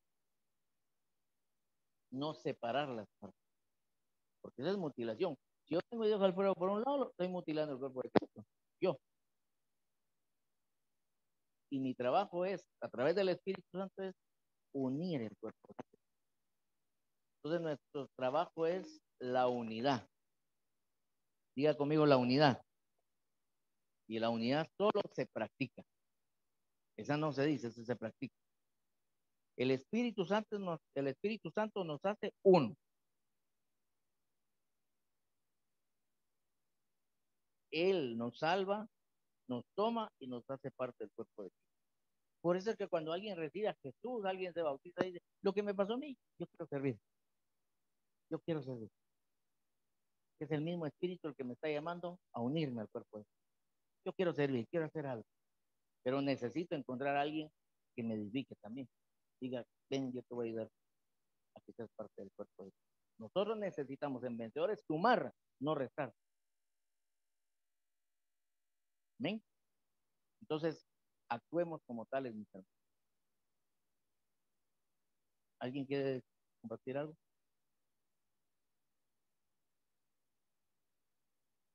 Todos aclaran. Marcial, ¿qué pensás? ¿Ya sabías de esto? Eh, sí, pastor, eh, cabalmente ese versículo que acaba de leer de donde dice que cuerpo eh, fuimos bautizados, que todos fuimos bautizados en un mismo espíritu. Eh, lo leía yo la vez pasada y tenía, tenía eh, no dudas, sino que ya tenía, eh, ¿cómo le quiero? Establecido.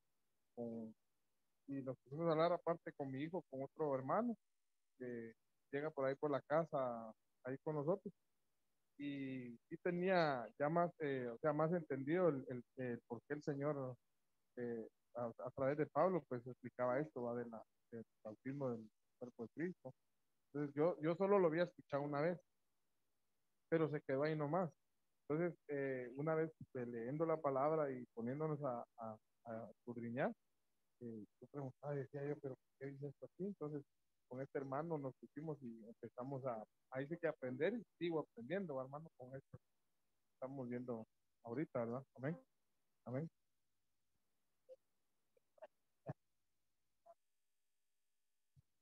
Gracias, pastor. En una ocasión, el apóstol Walter me decía, "Es- esta enseñanza sobre el cuerpo de Cristo, todos tenemos una función diferente. y con unas situaciones que se estaban viendo acá, me decía, no pueden haber dos cabezas ahí, si no son fenómenos.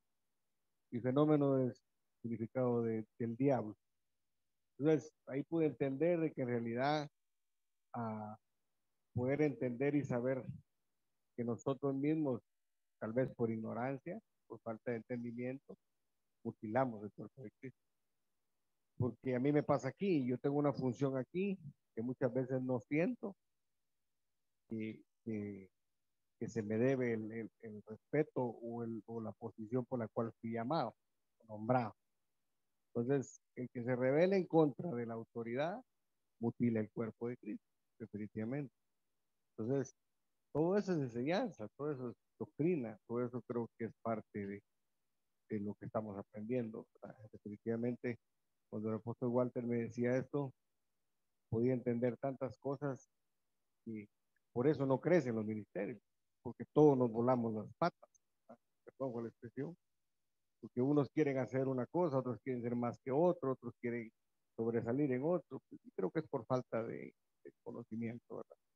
Pero en realidad la clave de esto es la humildad, ¿verdad? Creo que cuando uno aprende, a pesar de que uno viene de doctrinas diferentes, donde son enseñanzas diferentes, donde yo nunca había estado en un ministerio, siempre lo he dicho, donde he tenido la responsabilidad grande de tener un montón de almas a mi cargo. Es algo, es algo grande, ¿verdad? Y poderoso. Gracias, pastor. Es cierto, en esto todos aprendemos. O sea, esto es para aprender. Necesitamos aprender. Para poder funcionar bien necesitamos aprender. Por eso le decía, yo no practicaba, bueno, lo desconocía. Rodolfo decía, el que se revela ante la autoridad está mutilando el cuerpo. Déjame decirte que la autoridad mutila más el cuerpo que el que se revela. Porque al que más se le da, más se le demanda. O sea, yo tengo una gran responsabilidad. Porque eso, o sea, como autoridad yo tengo la obligación de enseñar. Por eso debería ser una autoridad. Entonces, si Andy se revela a mi autoridad, mi obligación es, vuelvo a repetir, a través del Espíritu Santo, unirlo al cuerpo, no mutilar el cuerpo. O sea, nuestra función no es de mutilación. Nosotros tenemos que ser incluyentes, no excluyentes. Pero ahí entra, como vos dijiste, la humildad. Y les voy a contar una anécdota. Una vez estaba trabajando en una empresa, iba a renunciar. Y mi jefe creó una estrategia para que yo me quedara. Me, ayudó económicamente y con eso bastaba, pero me dijo, yo lo voy a poner de jefe. No dije, me está ayudando económicamente y me va a poner de jefe, pues vale la pena. Sí, me dijo, y usted va a ser jefe de tal lugar. Yo no conocía el lugar. Nunca había ido ahí. Y ahí va a estar, usted va a hacer esta función, va así, me dijo de todo. ¿sí? Mañana yo lo voy a ir a dejar y lo voy a presentar ahí como, como el jefe. Al día siguiente me dijo, dice que tengo mucho que hacer, no lo voy a poder llevar, pero el chofer lo va a llevar. Cuando llego yo a la tienda, solo había una persona y un motorista. Yo todo lo que él me había dicho que iba a ver y que había, yo, de la cual yo voy a ser el jefe. Y cuando entro, el, el mensajero solo me va a dejar y se fue. Y nadie me conocía. Y entonces me di cuenta que había un jefe. Ya había un jefe. Y obviamente él, cuando me vio, dijo, ¿y este qué viene a hacer aquí? Me dijo, mire, yo no sé qué viene a hacer usted aquí, me pero yo aquí soy el jefe. Bueno, le dije, realmente le voy a, porque entonces comencé a entender y que como que me engañaron. Tal vez para hacerme quedar. Yo dije, pues mire, yo le voy a contarle. Yo aquí vengo a trabajar. Si usted dice que usted es el jefe, pues yo me voy a sujetar. Yo soy un hombre sujeto a mis autoridades. Espiritualmente, el, el, el Espíritu Santo te enseña a ser una persona sujeta a Cristo y a tus autoridades. Yo dije, pues mire, la verdad que, que o sea, yo no necesito jefe. El problema es de que en todos lugares quieren ser todos cabeza.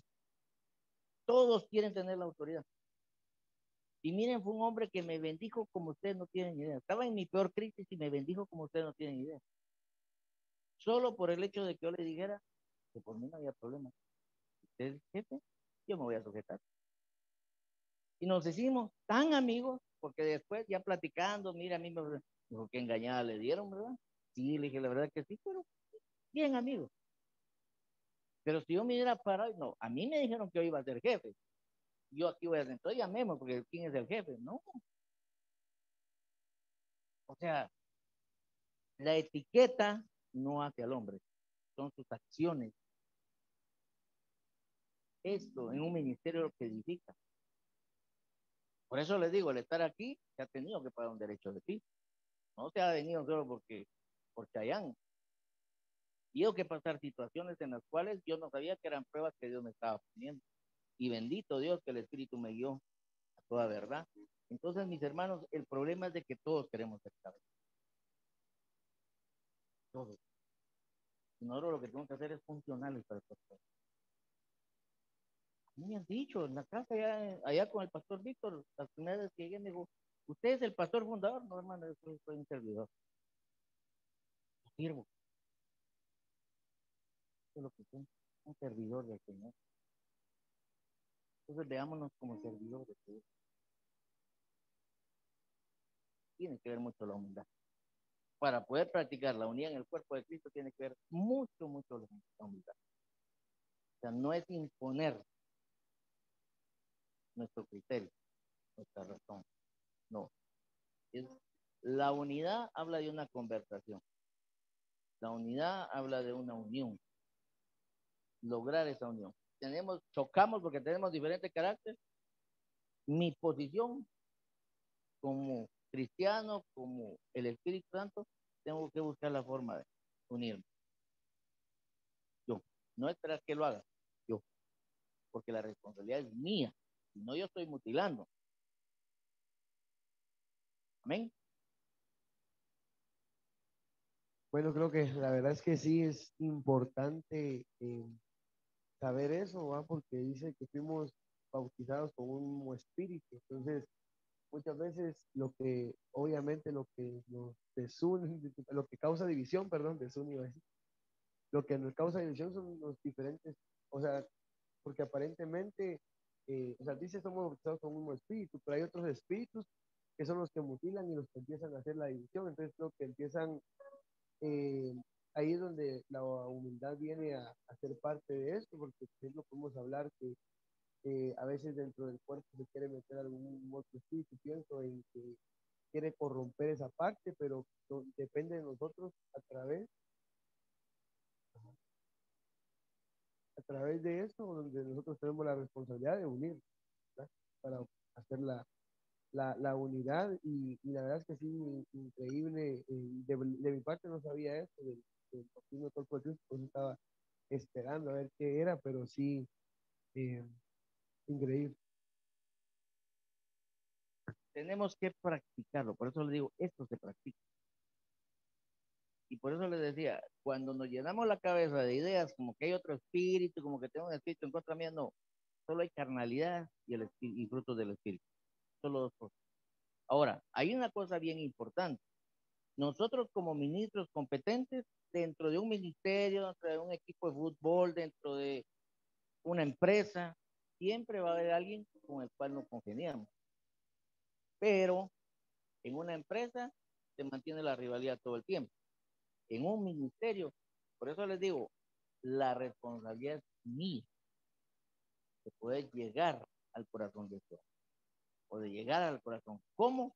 Siendo amables. He tenido gente dentro del ministerio sobre empresas. Y uno le decía, ¿qué tal? Buenos días. Ni le contestaba. Bueno, el día siguiente, ¿qué tal? Buenos días. Tampoco. Un día contestaba. Y estos todos volvimos buenos amigos. Pero era mi Yo no podía decir, no, que como no me hablan, no le hablo. Esa es carnalidad. Eso es carnalidad. Y nosotros no podemos andar carnalmente. Tenemos que andar en el espíritu. Por eso estamos hablando de la humildad. La humildad es ceder. Ah, no, como el perro no me habla, yo tampoco le hablo. No, yo tengo que dar lo que el Espíritu está produciendo. Amén. Amén. Sí, creo que ese es un tema fundamental, ¿verdad? Y todos lo pasamos, porque en un momento tenemos esto de, no, yo quiero sobrevivir, eh, hay un choque, como decía el pastor, de caracteres.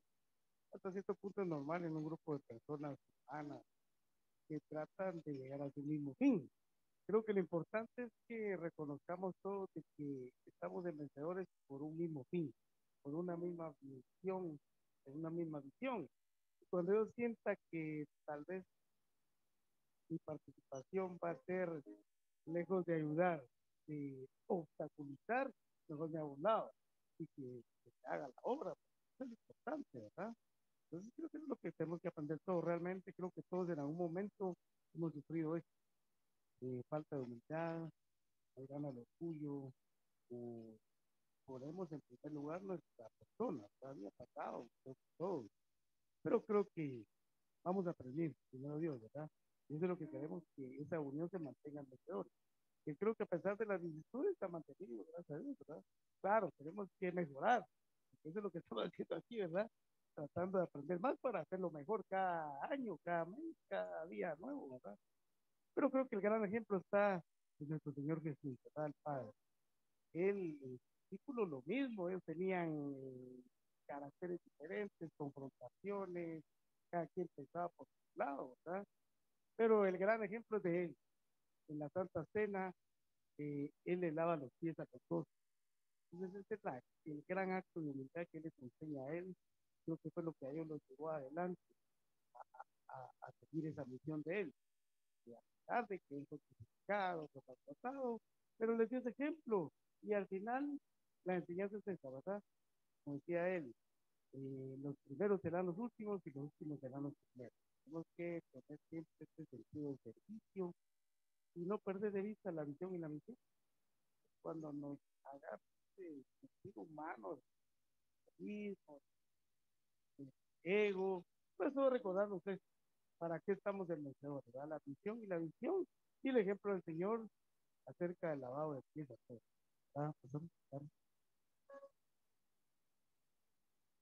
Sí, entonces tenemos que, decía creo, a pesar de todo hemos avanzado. El problema es de que si vamos mejorando, avanzamos más rápido. Y necesitamos avanzar rápido.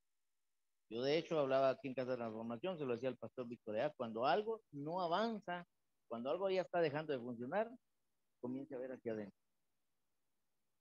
Hay algo que está haciendo mal. Dios no puede ser burlado, mis hermanos. Dios no puede ser burlado. Él sabe cuando estamos haciendo algo mal y entonces todo se detiene. Hasta que nosotros no reparemos eso.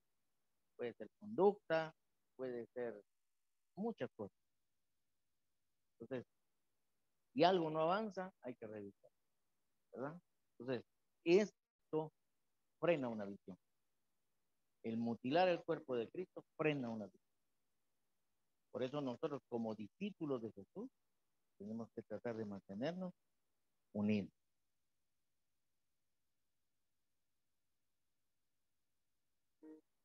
Gracias. Eh, ¿Cuál eh, me llamó mucho la atención?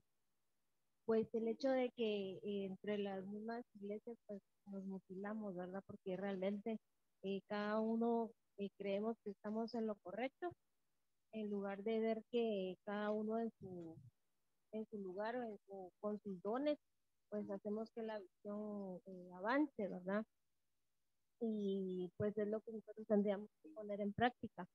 Eh, la humildad, como decís, eh, no, no, no es fácil porque obviamente eh, yo no puedo decir soy la persona más humilde, soy, ¿verdad? O sea, me, me falta un montón todavía. ¿Qué es lo que más me, me hace que, necesite trabajar en mi humildad? Es, es mi temperamento, ¿verdad? Eh, yo sé que me conociste, o sea, obviamente sabes cómo era. Eh, gracias a Dios, pues eh, eh, he cambiado un montón, pero también sé que me falta un montón, porque en determinado momento, eh, en algún, alguna situación, pueda que choque con alguien, ¿verdad? Y eso haga que me estanque. Entonces, eh, eh, es pensar sabiamente, ¿verdad? Es saber hacer las cosas bien para que vaya fluyendo la comunicación, para que la visión avance y sepamos que no es mm, debido a nosotros, ¿verdad? Sino que es por, por el Señor que realmente nosotros estamos eh, ayudando al prójimo, ¿verdad? Es lo que nosotros tendríamos que tener en mente, no la autoridad que yo tengo, no lo que yo pueda hacer realmente, sino que cómo puedo ayudar a la otra persona, cómo puedo atraer a las personas para no rechazarlas, ¿verdad? Porque realmente el Señor nunca hizo excepción de personas, siempre atrajo a, todas las personas que encontró en el camino, eh, Él siempre le dio amor a, a, a todos, ¿verdad? Entonces nosotros eh, debemos hacer lo mismo, ¿verdad? No rechazar a nadie y siempre aceptar a aquellas personas que, puedan tener su granito de arena tan vencedores con nosotros y realmente eh, yo sí veo que, que vencedores va para, para mucho, ¿verdad? Y si nosotros pues ponemos en práctica todas las enseñanzas y el cuerpo de Cristo, pues eh, vamos a llegar muy lejos como, como ministerio.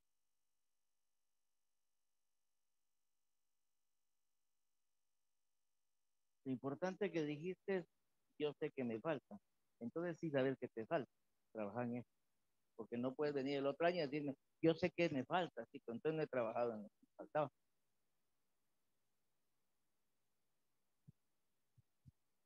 Eh, yo, pastor, déjeme decirle que esta noche eh, para mí ha sido de gran bendición porque el día de hoy yo logré confirmar lo que pensaba hace unos instantes, que logré confirmar de que sí, en realidad Dios me ha perdonado, ¿verdad? Y con lo que usted esta noche me ha enseñado, no solo a mí, sino que a todas las personas que estamos aquí presentes, como las que están conectadas, eh, es grande. Déjeme decirle que yo un tiempo atrás yo tenía una forma de mirarlo eh, al Señor diferente. Yo, para mí, como me dijo un pastor y se lo, he se contado a usted, yo no tenía ningún tipo de perdón. Hoy, una vez más, esas preguntas que me las he hecho a mí mismo, la, la he confirmado por medio de su persona, Dios me la ha revelado, es que soy salvo. Un tiempo el diablo me cegó mi, mi entendimiento para que yo no pudiera comprender nada. Gracias. De verdad, que sí, gracias, pastor, por tanto que me, está enseñando. Y déjeme decirle que el día de hoy, pues, nuevamente lo, repito, he confirmado que el Señor sí me ha perdonado. Antes se, se me quedó en la cabeza grabado de que no, que vos andas todo manchado, tu cuerpo, y he hecho muchas cosas, me dijo un pastor. Yo le decía, pero no es que Dios viene por los perdidos. Claro, yo en ese tiempo no sabía, no conocía por ni un versículo de la Biblia. No sabía ni a dónde podía encontrar a Mateo, a Marcos. Hoy ya llego, ¿verdad? De dónde está. Y peleaba con él, incluso cuando a mí me preguntaba de dónde venir, de rondar la tierra, le decía. Le contestaba enojado. Y de repente él me había hecho creer, digamos, yo, ahora Dios me perdone, no sé si estará vivo, yo perdí comunicación con él hace mucho tiempo, pero yo digo que el diablo lo utilizaba a él también, porque él, o sea, yo me quise acercar a la iglesia, pero con lo que él me decía, no, que voy a hacer ahí, sí, todo lo que me digan que, o sea, yo me sentía como que me corrían más bien de la iglesia, él. Todo lo contrario a lo que yo confirmé esta noche, y déjeme decirle que es una alegría para mí eh, el conocimiento que he agarrado y, también gracias, pastor, por ser mi pastor y la persona que me está instruyendo en el camino de Dios.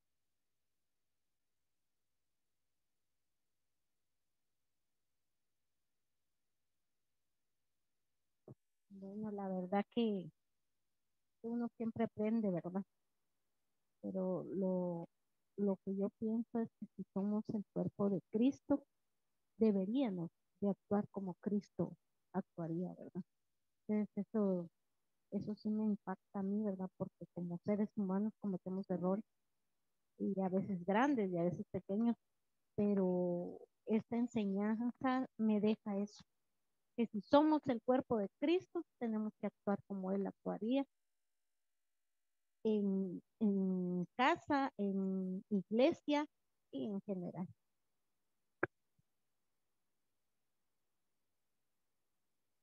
Toda la razón. Hasta en familia tenemos que unirnos como cuerpo de Cristo. Yo recuerdo que en el pasado yo le decía a Lili, en esta casa yo soy el que más. Esto es lo que se hace. Esté mal o esté bien, eso se va. Eso no era edificar el cuerpo de Cristo. Obviamente no conocía. Tuve que ceder. Pero mis hermanos, entonces, para ir concluyendo, necesitamos reconocer que, que debemos de unir el cuerpo de Cristo. No podemos caer, como decía Caleb, no es que hay unos espíritus, no, son excusas que tenemos para no hacer nuestra función. Yo tengo la responsabilidad de unir a este pueblo. Si no se practicara eso, creen que hubieran tantos vencedores y vencedores. No quisiera. Por eso tiene que haber evidencias de lo que hablamos, y no se convierten solo en palabras.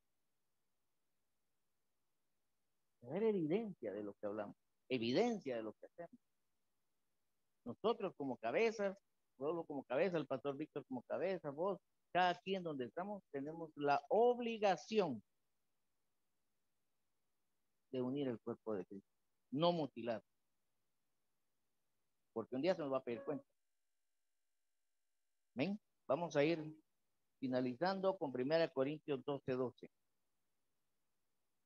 Por eso les decía al inicio, si todos practicáramos esta función, tendríamos un ministerio poderosísimo. Todos funcionando, cada quien con sus dones, haciendo cosas grandes para el Señor, engrandeciendo el, el- el conocimiento a las personas y engrandeciendo el nombre de Dios. Al final esa es la función que hacemos.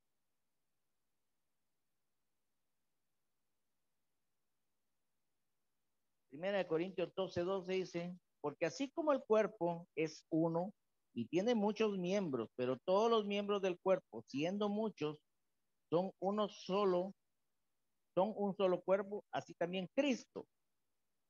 Porque un solo espíritu fuimos todos bautizados en un cuerpo, sean judíos o griegos, sean esclavos o libres, y a todos se nos dio a beber de un mismo espíritu.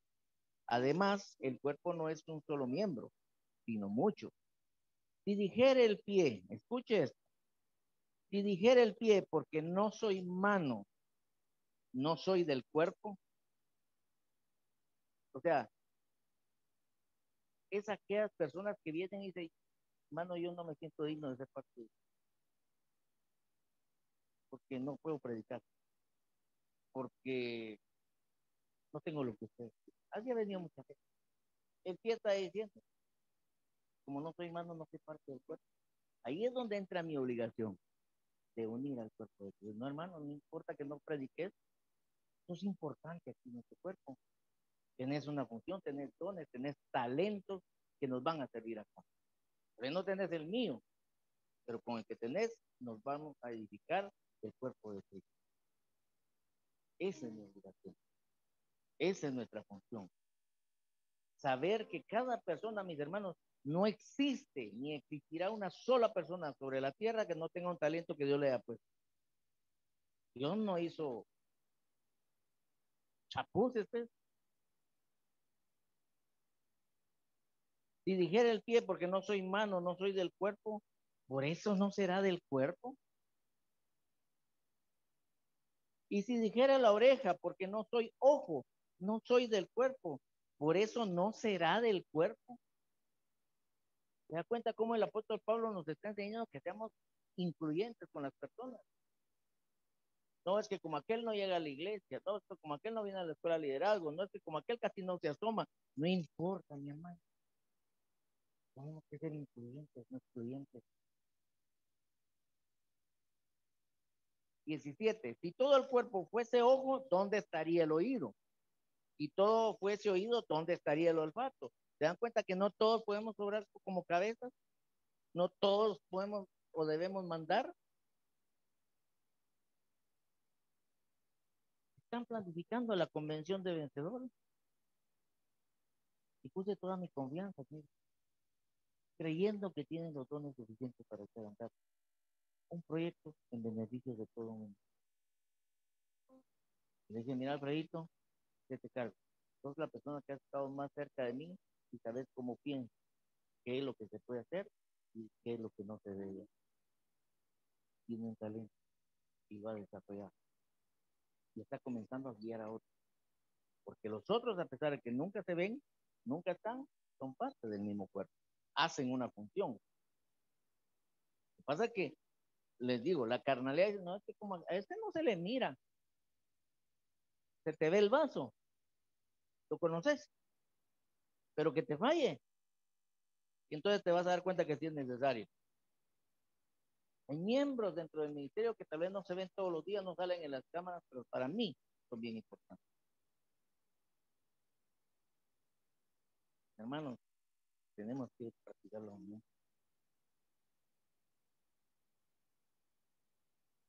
Podría entrar a esas reuniones y decirle, no, mucha, aquí el que mando soy yo, el que hace soy yo. No. Yo tengo que unir al cuerpo de Cristo, no mutilar. Pues hay que tener cuidado con las acciones hacen.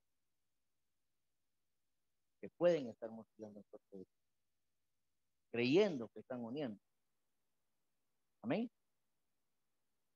18. Más ahora Dios ha colocado los miembros. Dios. Dios es el que te promueve y te pone en el lugar correcto. Más Dios ha colocado los miembros, cada uno de ellos, en el cuerpo, como Él quiso.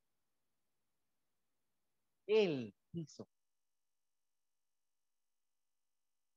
Por eso ayer les decía a los del equipo Cata de Transformación, yo tuve instrucción de parte del Espíritu Santo que debo hacer con los PA y lo voy a hacer, porque es Él. No soy yo, es Él. El que promueve, el que da don, el que da todo. Que uno. Yo necesito unidad del. Necesitamos más gente. Porque decimos, no tenemos obreros, pero tampoco tenemos obreros.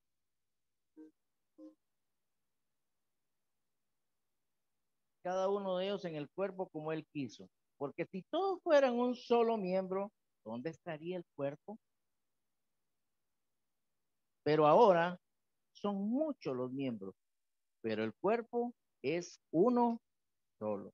Por eso les decía, mentores pueden haber 20, 40, 100, 200 o 2000, que todos vamos a funcionar en un mismo cuerpo.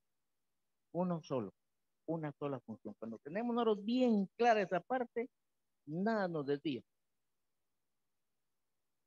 Sé que lo que cada quien hace para mí es importante. Tu función es importante. Yo siempre que miro a los que veo, les digo, mira, gracias por tu trabajo. Gracias por lo que haces. Porque se esfuerzan por ser parte de un cuerpo. Amén. 21.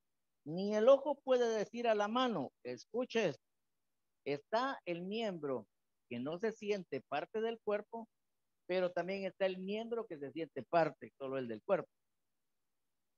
Ni el ojo puede decir a la mano, no te necesito, ni tampoco la cabeza a los pies, no tengo necesidad de. Por eso le digo, qué responsabilidad como cabeza. Una gran responsabilidad. Antes bien, los miembros del cuerpo que parecen más débiles son los más qué? Qué preciosos, son los más necesarios. Los que parece que no sirven. Los que parece que no tienen nada que aportar. Esos son los más. Son los más útiles. No es el que tiene mucho conocimiento, es el que Dios nos manda.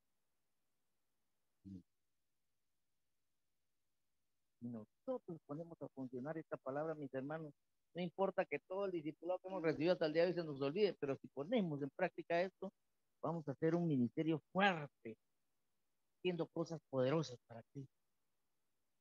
23. Y aquellos del cuerpo que nos parecen menos dignos, a estos vestimos más dignamente. Escuchen, por, por, ya vieron que les estoy diciendo, ¿Por qué a las personas que van por primera vez hay que sentarlos al frente?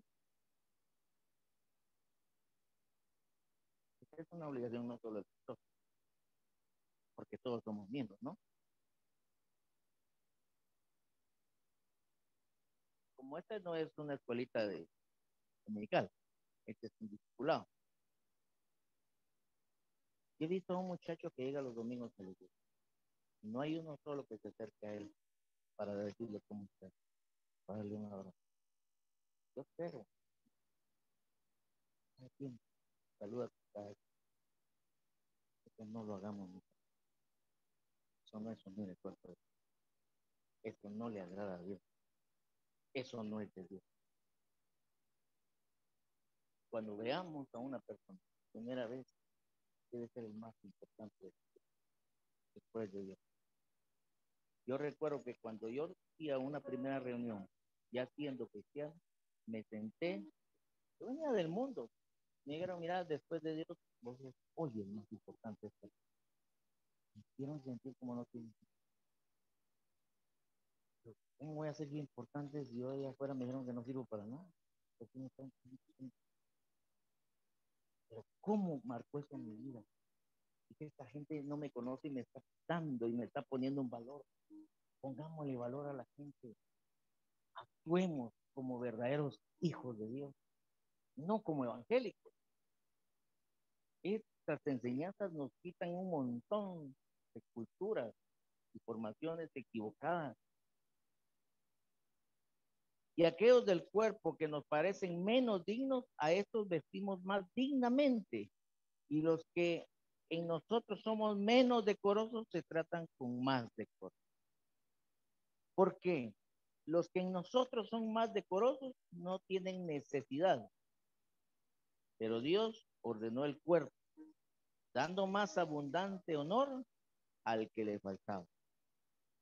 Se da cuenta que mientras más pasemos desapercibidos en un ministerio, más Dios nos va a quitar. Mientras menos digamos quiénes somos, que somos esto, que somos el otro, más Dios nos va a quitar. Él es el que se va a encargar, no yo. Dando más abundante honor al que le faltaba. Para que no haya desaveniencia en el cuerpo, sino que los miembros todos se preocupen los unos por los otros. De manera que si un miembro padece, todos los miembros se duelen. Eso es en el espíritu. En la carne, ya que bueno, se le dio la gracia. Se lo merece. Y si un miembro recibe honra, todos los miembros con él se gozan. Vosotros pues, pues sois el cuerpo de Cristo y miembros cada uno en particular. Y aún nos puso Dios en la iglesia, primeramente apóstoles, luego profetas, lo tercero maestros, luego los que hacen milagros, después los que sanan, los que ayudan, los que administran, los que tienen don de lengua. ¿Son todos apóstoles? ¿Son todos profetas? ¿Todos maestros? ¿Hacen todos milagros? ¿Tienen todos dones de sanidad? ¿Hablan todos lenguas? ¿Interpretan todos? Procurad pues los dones mejores, mas yo os muestro un camino aún más excelente. Esa escritura deberíamos de leerla todos los días. Todos los días. Practicar. Todos los días. Para tratar de ser los ministros competentes de un nuevo pacto. Para que verdaderamente seamos ejemplo de eso. Y entonces aquí aprendimos cuatro puntos importantes. No puedes menospreciarte a ti mismo. Por eso dijo el pie. Como no soy yo, pues no soy parte del cuerpo.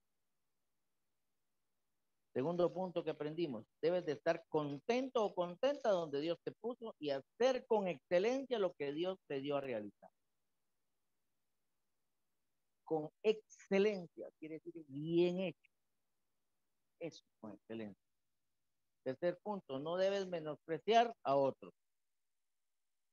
Por último, preocúpate por alguien más y que alguien se preocupe por ti.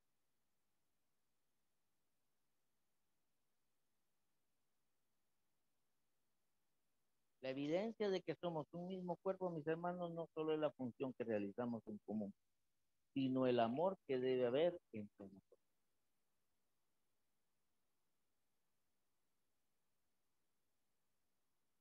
Ayer me decía Luis, mira, llevaron a Rudy al. Hoy le decía, mira, gracias a Dios, Andy, hizo el favor de- En los menos decorosos, menos que hizo. Creo que la función del Ministerio de Vencedores no es cualquier función. Somos cualquier iglesia. Nos fuimos llamados a cualquier ministerio. Es difícil. Hay que hacerlo.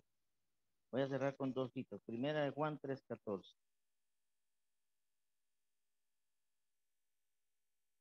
Primera de Juan 3.14.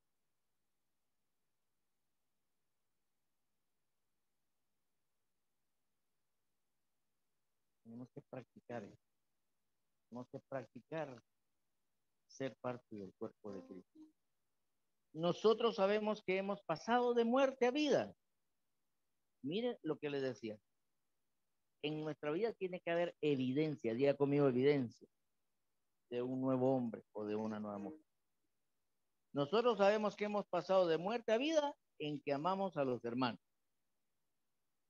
Yo miro que Alfredo ama a su hermano, es evidencia que sí ha pasado de muerte a vida. Si no amas a tu hermano y siempre te mantiene en conflicto, lo siento mucho, pero es una gran carnalidad el espíritu no ha operado.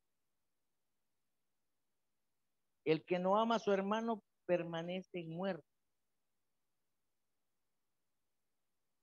Todo aquel que aborrece a su hermano es homicida. Sabéis que ningún homicida tiene vida eterna permanentemente en él. Y dice el capítulo 4, versículo 20, el mismo primera de Juan. Con esto voy cerrando.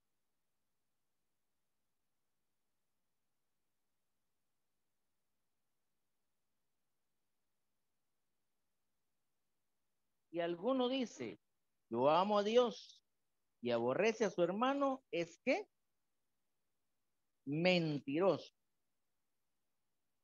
Pues el que no ama a su hermano, a quien ha visto, ¿cómo puede amar a Dios quien no ha visto? ¿Se da cuenta que para funcionar bien tenemos que funcionar en el amor? El amor. de- Mis hermanos, como discípulos de Jesús, tenemos que practicar todos los días. Dijo Wendy, sé que me hace falta. Trabajemos en la compasión. A mí me hace falta bastante, pero todos los días trato de trabajar en lo que me hace falta.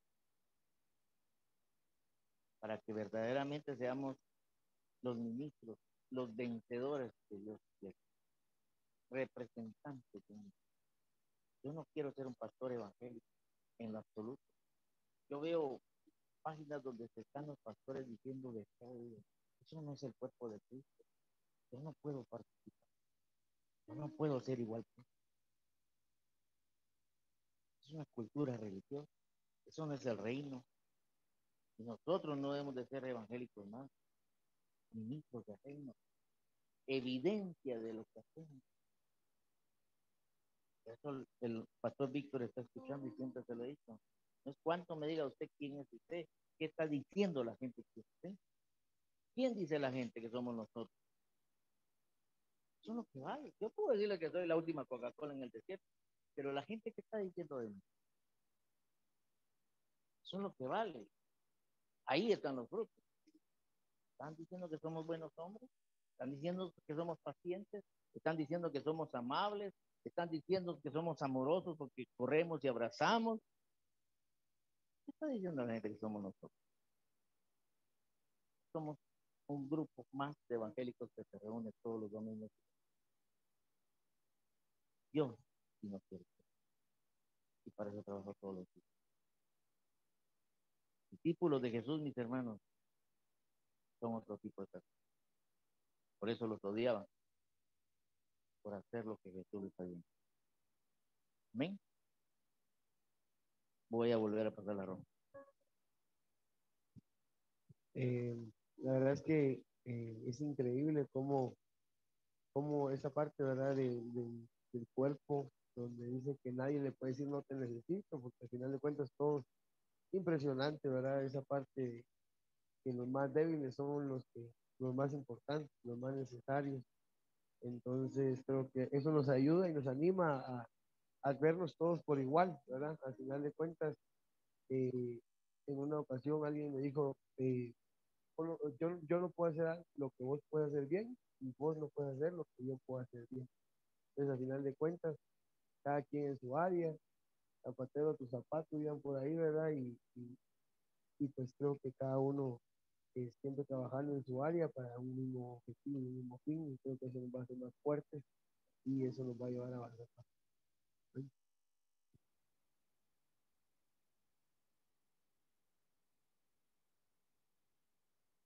¿Cuándo vas a evidenciar que estás practicando la unidad en el cuerpo de Cristo? Cuando haya más gente en la alabanza. Estás uniendo personas. Estamos uniendo. Evidencia. Gracias. Eh, sí, los talentos, ¿verdad? Los talentos que no sabe que tenemos y a veces nosotros no, no lo comprendemos.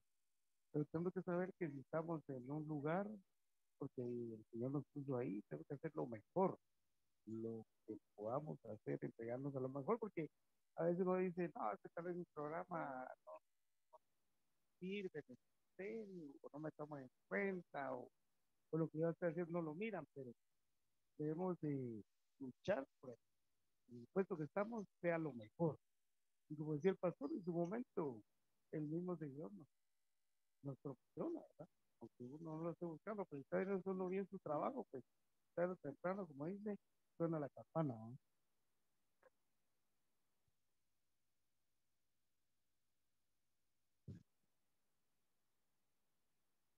bueno que nos sentamos útiles, man. Pues, si podemos hacer algo para,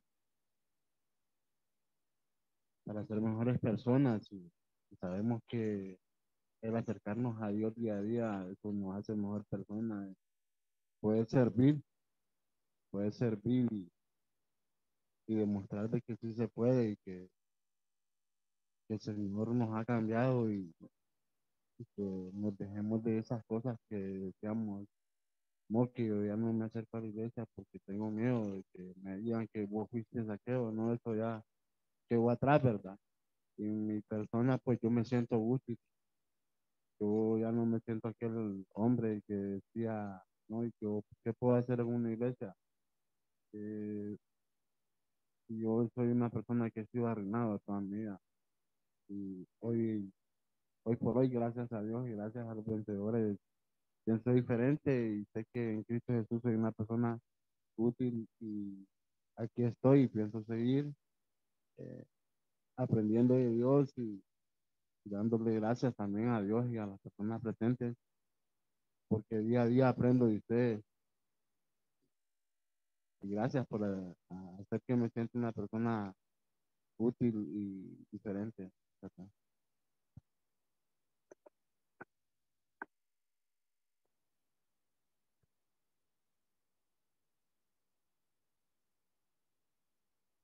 Eh, reitero, eh, pues nos falta, no, pues, pero eh, escuchándote lo último que dijiste, mm, que cada uno en, su área, eh, cómo va a demostrar uno que, realmente está haciendo el cuerpo de Cristo.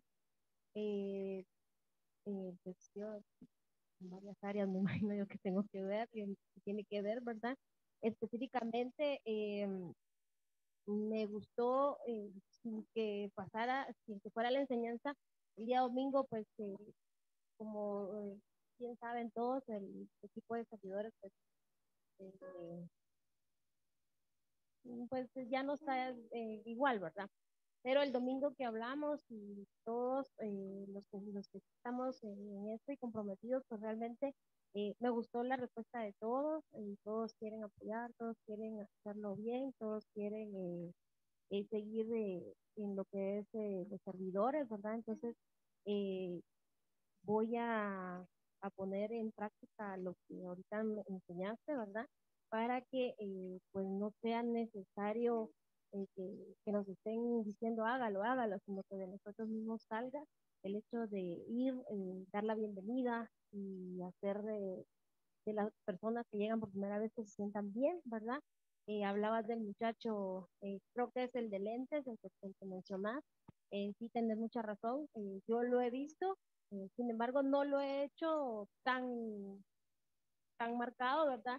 Sí me he dado cuenta, eh, más que todo cuando llega eh, el día eh, de la Santa Cena, casi siempre se va aparte, eh, vengo yo con mi hija y me acerco a él, ¿verdad? Para que, para poder orar por él igualmente, pero sí eh, me hace falta a mí y nos hace falta a todos de ver más a esas personas que están solas y que necesitan quizá en ese momento de una palabra o de un abrazo nuestro eh, de parte de Dios, ¿verdad? Entonces eh, tenemos que estar más listos y más enfocados eh, en lo que la, en la necesidad de la gente que, que llega a la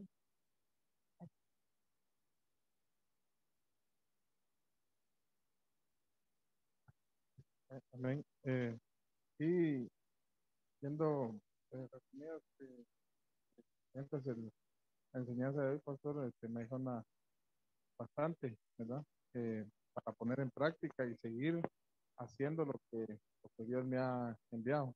Eh, decía, estamos ahorita aquí, estamos consolidando, aprendiendo más, ¿verdad? Para que el cuerpo de Cristo seamos, eh, ahí sí que más fuertes y, y y ver en las áreas, como decía hermana Wendy, o en los, en los momentos que uno tiene que actuar y ver eh, que hagan frutos, que hagan una, una, el cuerpo siga fortaleciéndose más que todo, ¿verdad? Y entender de que pues el Señor en cada momento nos habla y la palabra dice que nos habla a tiempo fuera de tiempo. Creo que este era el tiempo que, nos faltaba también para ir conociendo y aprendiendo más. Amén. Gracias, pastor. Eso de ministros competentes. La verdad que es una gran responsabilidad y poder entender esto de, de esta manera, un solo cuerpo con diferentes miembros y diferentes funciones. En realidad, cada vez que el Señor revela su palabra, yo me gozo porque la recibo de una manera donde me compromete más, me confronta y me hace responsable. Porque muchas veces no vale el intelecto, ni la capacidad, ni la personalidad. Lo que más que sentirse un miembro más útil del cuerpo.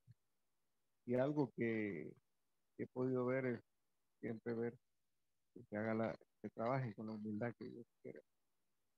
Porque es bien clara la palabra, el antiguo lo ve de lejos. El humilde lo acerca. Entonces creo que ahí es donde más, más acá adentro que hemos practicado, no digamos en la iglesia. Eh, yo he enseñado en una iglesia porque fui diácono también a recibir con amor y no con hipocresía a la gente. Ver con amor a la gente, no verlos como extraños, que es triste y lamentable ver en la iglesia gente que, ni siquiera le voltea ver la cara al otro y mucho menos se preocupan por ir a preguntarle si se siente bien. No hay una formación de diaconado, ¿verdad? Triste y lamentable. Yo creo que desde ahí hay que partir, ¿verdad? Que, el cuerpo esté unificado en ese sentido para poder actuar con amor. Gracias. Creo, como les decía, que, que mi pueblo perece porque falta cultura. Entonces, en los ministerios, en los servidores, debería tocarse mucho para poder funcionar de una forma correcta, como ministerio y como parte del cuerpo de Cristo.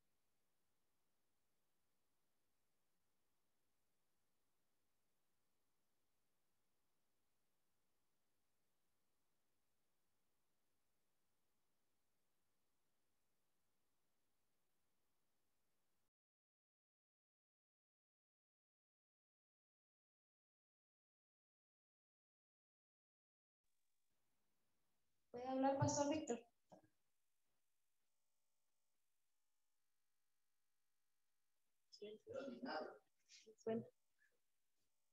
Ah, pero tiene desactivado el... Buenas noches, hermanos. Bendiciones a todos los que están en el discipulado.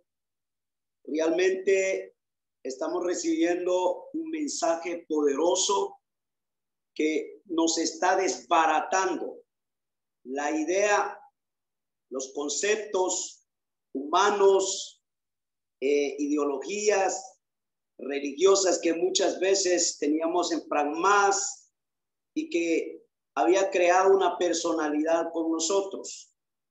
Y me llama mucho la atención lo que acababa de enseñar el apóstol Harry respecto al funcionamiento, el respeto hacia la función de cada persona, que tiene mucho que ver, y el ejercitar adecuadamente eh, la responsabilidad que viene de parte de Dios, porque así dice eh, Corintios 12, donde leíamos que Él coloca responsabilidades. Y creo que cuando nos perdemos de vista, como en los puntos que decía el apóstol, que aprendimos que son cuatro, no podemos menospreciarnos cuando nos perdemos de vista, cuando perdemos nuestra función, cuando perdemos el amor y la pasión con que eh, debemos de hacer las cosas, es cuando empezamos a ver y a estorbar el funcionamiento del otro hermano. Y de hecho, ahí viene el desprecio. Eh, concluía yo acá eh, entendiendo primero de Juan 4, 20. Nadie puede amar a Dios si no ama a su hermano. Y Jesús recalcaba eso, donde decía que dos mandamientos son importantes en el reino de Dios y en la dispensación de la gracia que estamos viviendo, que es amar a Dios sobre todas las cosas y al prójimo como a nosotros mismos. Entonces, realmente, mis queridos hermanos, tenemos un compromiso de parte de Dios de amar a Dios y al prójimo, pero para amar al prójimo necesitamos entender y llenarnos del amor de Dios. La verdad, esta enseñanza me ha dejado mucho, como también me está eh, eh, retando a que, tenga, a, que, a que tenga que votar muchos conceptos, porque realmente la, religiosidad, la religión a veces nos formó de una manera inadecuada, de una manera eh, humana, el cual pues eso es lo que ha hecho que el cuerpo de Cristo esté mutilado, el concepto del ser humano. Y le agradezco mucho al apóstol Harry y a todos ustedes por la oportunidad que me dan, pero realmente lo que prevalece acá para que seamos un cuerpo unido, eh, respondiendo la petición de Jesucristo que decía en San Juan capítulo 7, cuando oraba y pedía, te pido que sean uno para que el mundo crea. Creo que la unidad debe de prevalecer para que podamos impactar a una nación completa. Muchísimas gracias y muchas bendiciones sobre, sobre sus vidas y bendiciones también al apóstol Carlos. Buenas noches. Pastor Víctor, realmente eh, lo felicito de corazón porque reconocer, porque de se trata esta enseñanza. Esta enseñanza me llevó a mí, a mí, a mí, llevó a ver muchas cosas que sabía y no practicaba. Entonces creo que lo más importante es reconocer que necesitamos practicar. Él dice, traía otras enseñanzas. Y eso se trata de, eso se trata de la palabra. Esto, esas palabras es cuando la, la palabra de Dios ha entrado al corazón de un hombre y está empezando a trabajar en su mente. Así funciona. Y entonces, ¿qué va a esperar? Los frutos. Y creo que esa es la parte importante en esta. Esa es la parte importante. Eso es lo que Dios quiere. Eso es lo que trae el gozo de decir, bueno, vale la pena estar con tres, cuatro y cinco, pero que van a salir finuches de aquí. Entonces decía eh, el pastor Víctor, hacer la función. Ahí está el claro ejemplo de lo que estamos predicando. Andy decía, como tenía mi cuerpo marcado, no me tomaban en cuenta. Es lo que nosotros tenemos que cambiar. Es lo que nosotros tenemos que sacar de nuestra vida. El menosprecio. Por eso les he dicho que este ministerio es de amor y de misericordia, pero practicada a través de la unidad del cuerpo de Cristo. Entonces, practiquemos, mis hermanos. Dijo Wendy, ahora sé que me hace falta. Bueno, que lo que le hace falta. Yo reconocí que me hace falta algunas áreas, tengo que trabajar. Es una responsabilidad. Cada uno tenemos una responsabilidad. Amén. Pongámonos de pie. Vamos a hacer algo bien importante. Se van a hacer ustedes para caminar libre. Vamos a tomar todos de la mano y vamos a administrar el Espíritu Santo. Sea, vamos a administrar la unidad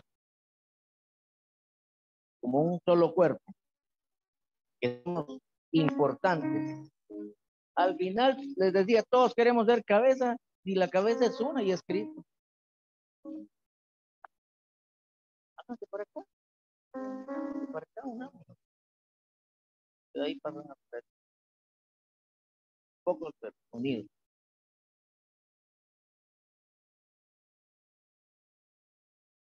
Vamos, todos.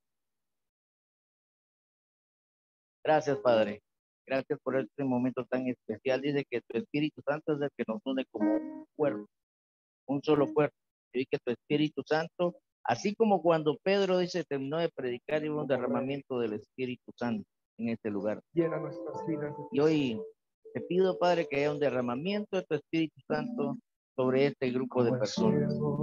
Somos discípulos tuyos, Padre. Yo estoy completamente seguro, sin temor a equivocarme, que en el corazón de cada uno de mis hermanos está el deseo de hacerlo siempre. Gracias por el trabajo que realizan. Gracias por lo que han hecho hasta ahora. Gracias porque a través de la palabra nos seguiremos capacitando para hacer las cosas de una manera, de una manera, de una manera correcta. Gracias porque a través de lo que hagamos no vamos a ser reconocidos nosotros. Es Jesús quien es reconocido. Gracias, Espíritu Santo. Gracias por este ministerio. Gracias porque hoy nos unimos como un mismo cuerpo. Cada uno de los que estamos acá, de los que están en la transición, todos son importantes. Aún de los que no están en esta reunión y pertenecen al ministerio, son importantes. Gracias, Señor Jesús, por eso. Derrama hoy de tu Espíritu Santo en este lugar. Eso que hemos aprendido hoy lo vamos a poner en práctica y lo, y lo empezaremos a enseñar a otras personas. Gracias. Gracias. Derrámate en este lugar. Llena nuestro corazón. No podremos dar amor si no lo tenemos de parte tuya. Llena nuestro corazón de amor, de paz, de gozo. Y eso es lo que vamos a transmitir. Gracias. Siente la presencia del Espíritu Santo en este. Siente la presencia del Espíritu Santo. Gracias. Tómanos. Llénanos. Más, más, más, más. Gracias, Señor. Gracias. Une este cuerpo. Es el cuerpo de Cristo. Fortalece estos miembros para que puedan funcionar en esta bendita visión que nos ha dado. Gracias, Padre. Gracias. Gracias. Oro por cada uno de ustedes. Oro por tu familia, para que esa unidad también sea establecida en sus esposas, sus hijos, sus esposos, su papá y sus hermanos. Que la unidad se extienda, el cuerpo de Cristo se extienda, aún en los trabajos. Se extienda, Señor, esa unidad en el cuerpo de Cristo. Gracias, amado Dios. Te damos gracias, Padre, por este momento. Gracias. Gracias, porque con amor nos enseñas, nos instruyes, nos corriges, nos haces mejores personas. Gracias, Espíritu Santo, por todo eso. Gracias por este momento tan especial. A partir de hoy jamás y nunca volveremos a ser los mismos. Gracias. Que tu palabra haga la obra en nosotros. Como dijo el pastor Víctor, venga a destruir todos esos pensamientos, argumentos, argumentos que la misma palabra se encarga de derribar. Gracias, Espíritu Santo. Gracias, Señor. Digo la vida de Alfredo, digo la vida de José, de Lili, Mili, de Zoila, de Wendy, Caleb, José, la vida también de Rodolfo, Pastor Víctor, los que están conectados, aún de los que no han venido, Señor, aún de los que no vemos en una cámara, que no vemos en un programa, pero también son parte de este cuerpo, Señor. Aún son los más importantes para mí y sé que para ti también. Son esas, esas partes del cuerpo que son humildes porque están ahí, no buscan un reconocimiento, sino simplemente servirte. Exáltalo, Señor. A los decorosos. Gracias, Padre. Gracias. Gracias. Nos vamos a dedicar a unir más miembros de este cuerpo a través de tu Espíritu Santo. Gracias, Señor. Gracias. Que toda gloria y toda honra de nuestra actitud y nuestros resultados sea para ti, Señor. Que te conozcan, que en toda Guatemala conozcan este ministerio como un ministerio nuevo, que impacte por lo que hacemos, no por lo que decimos. Y vamos a impactar una nación completa para que más gente te conozca. Vencedores hasta el fin, Señor. Gracias, Padre. Gracias. En el nombre de Jesús. Amén y amén. Amén. Amén. Amén. Amén. Vamos a hacer un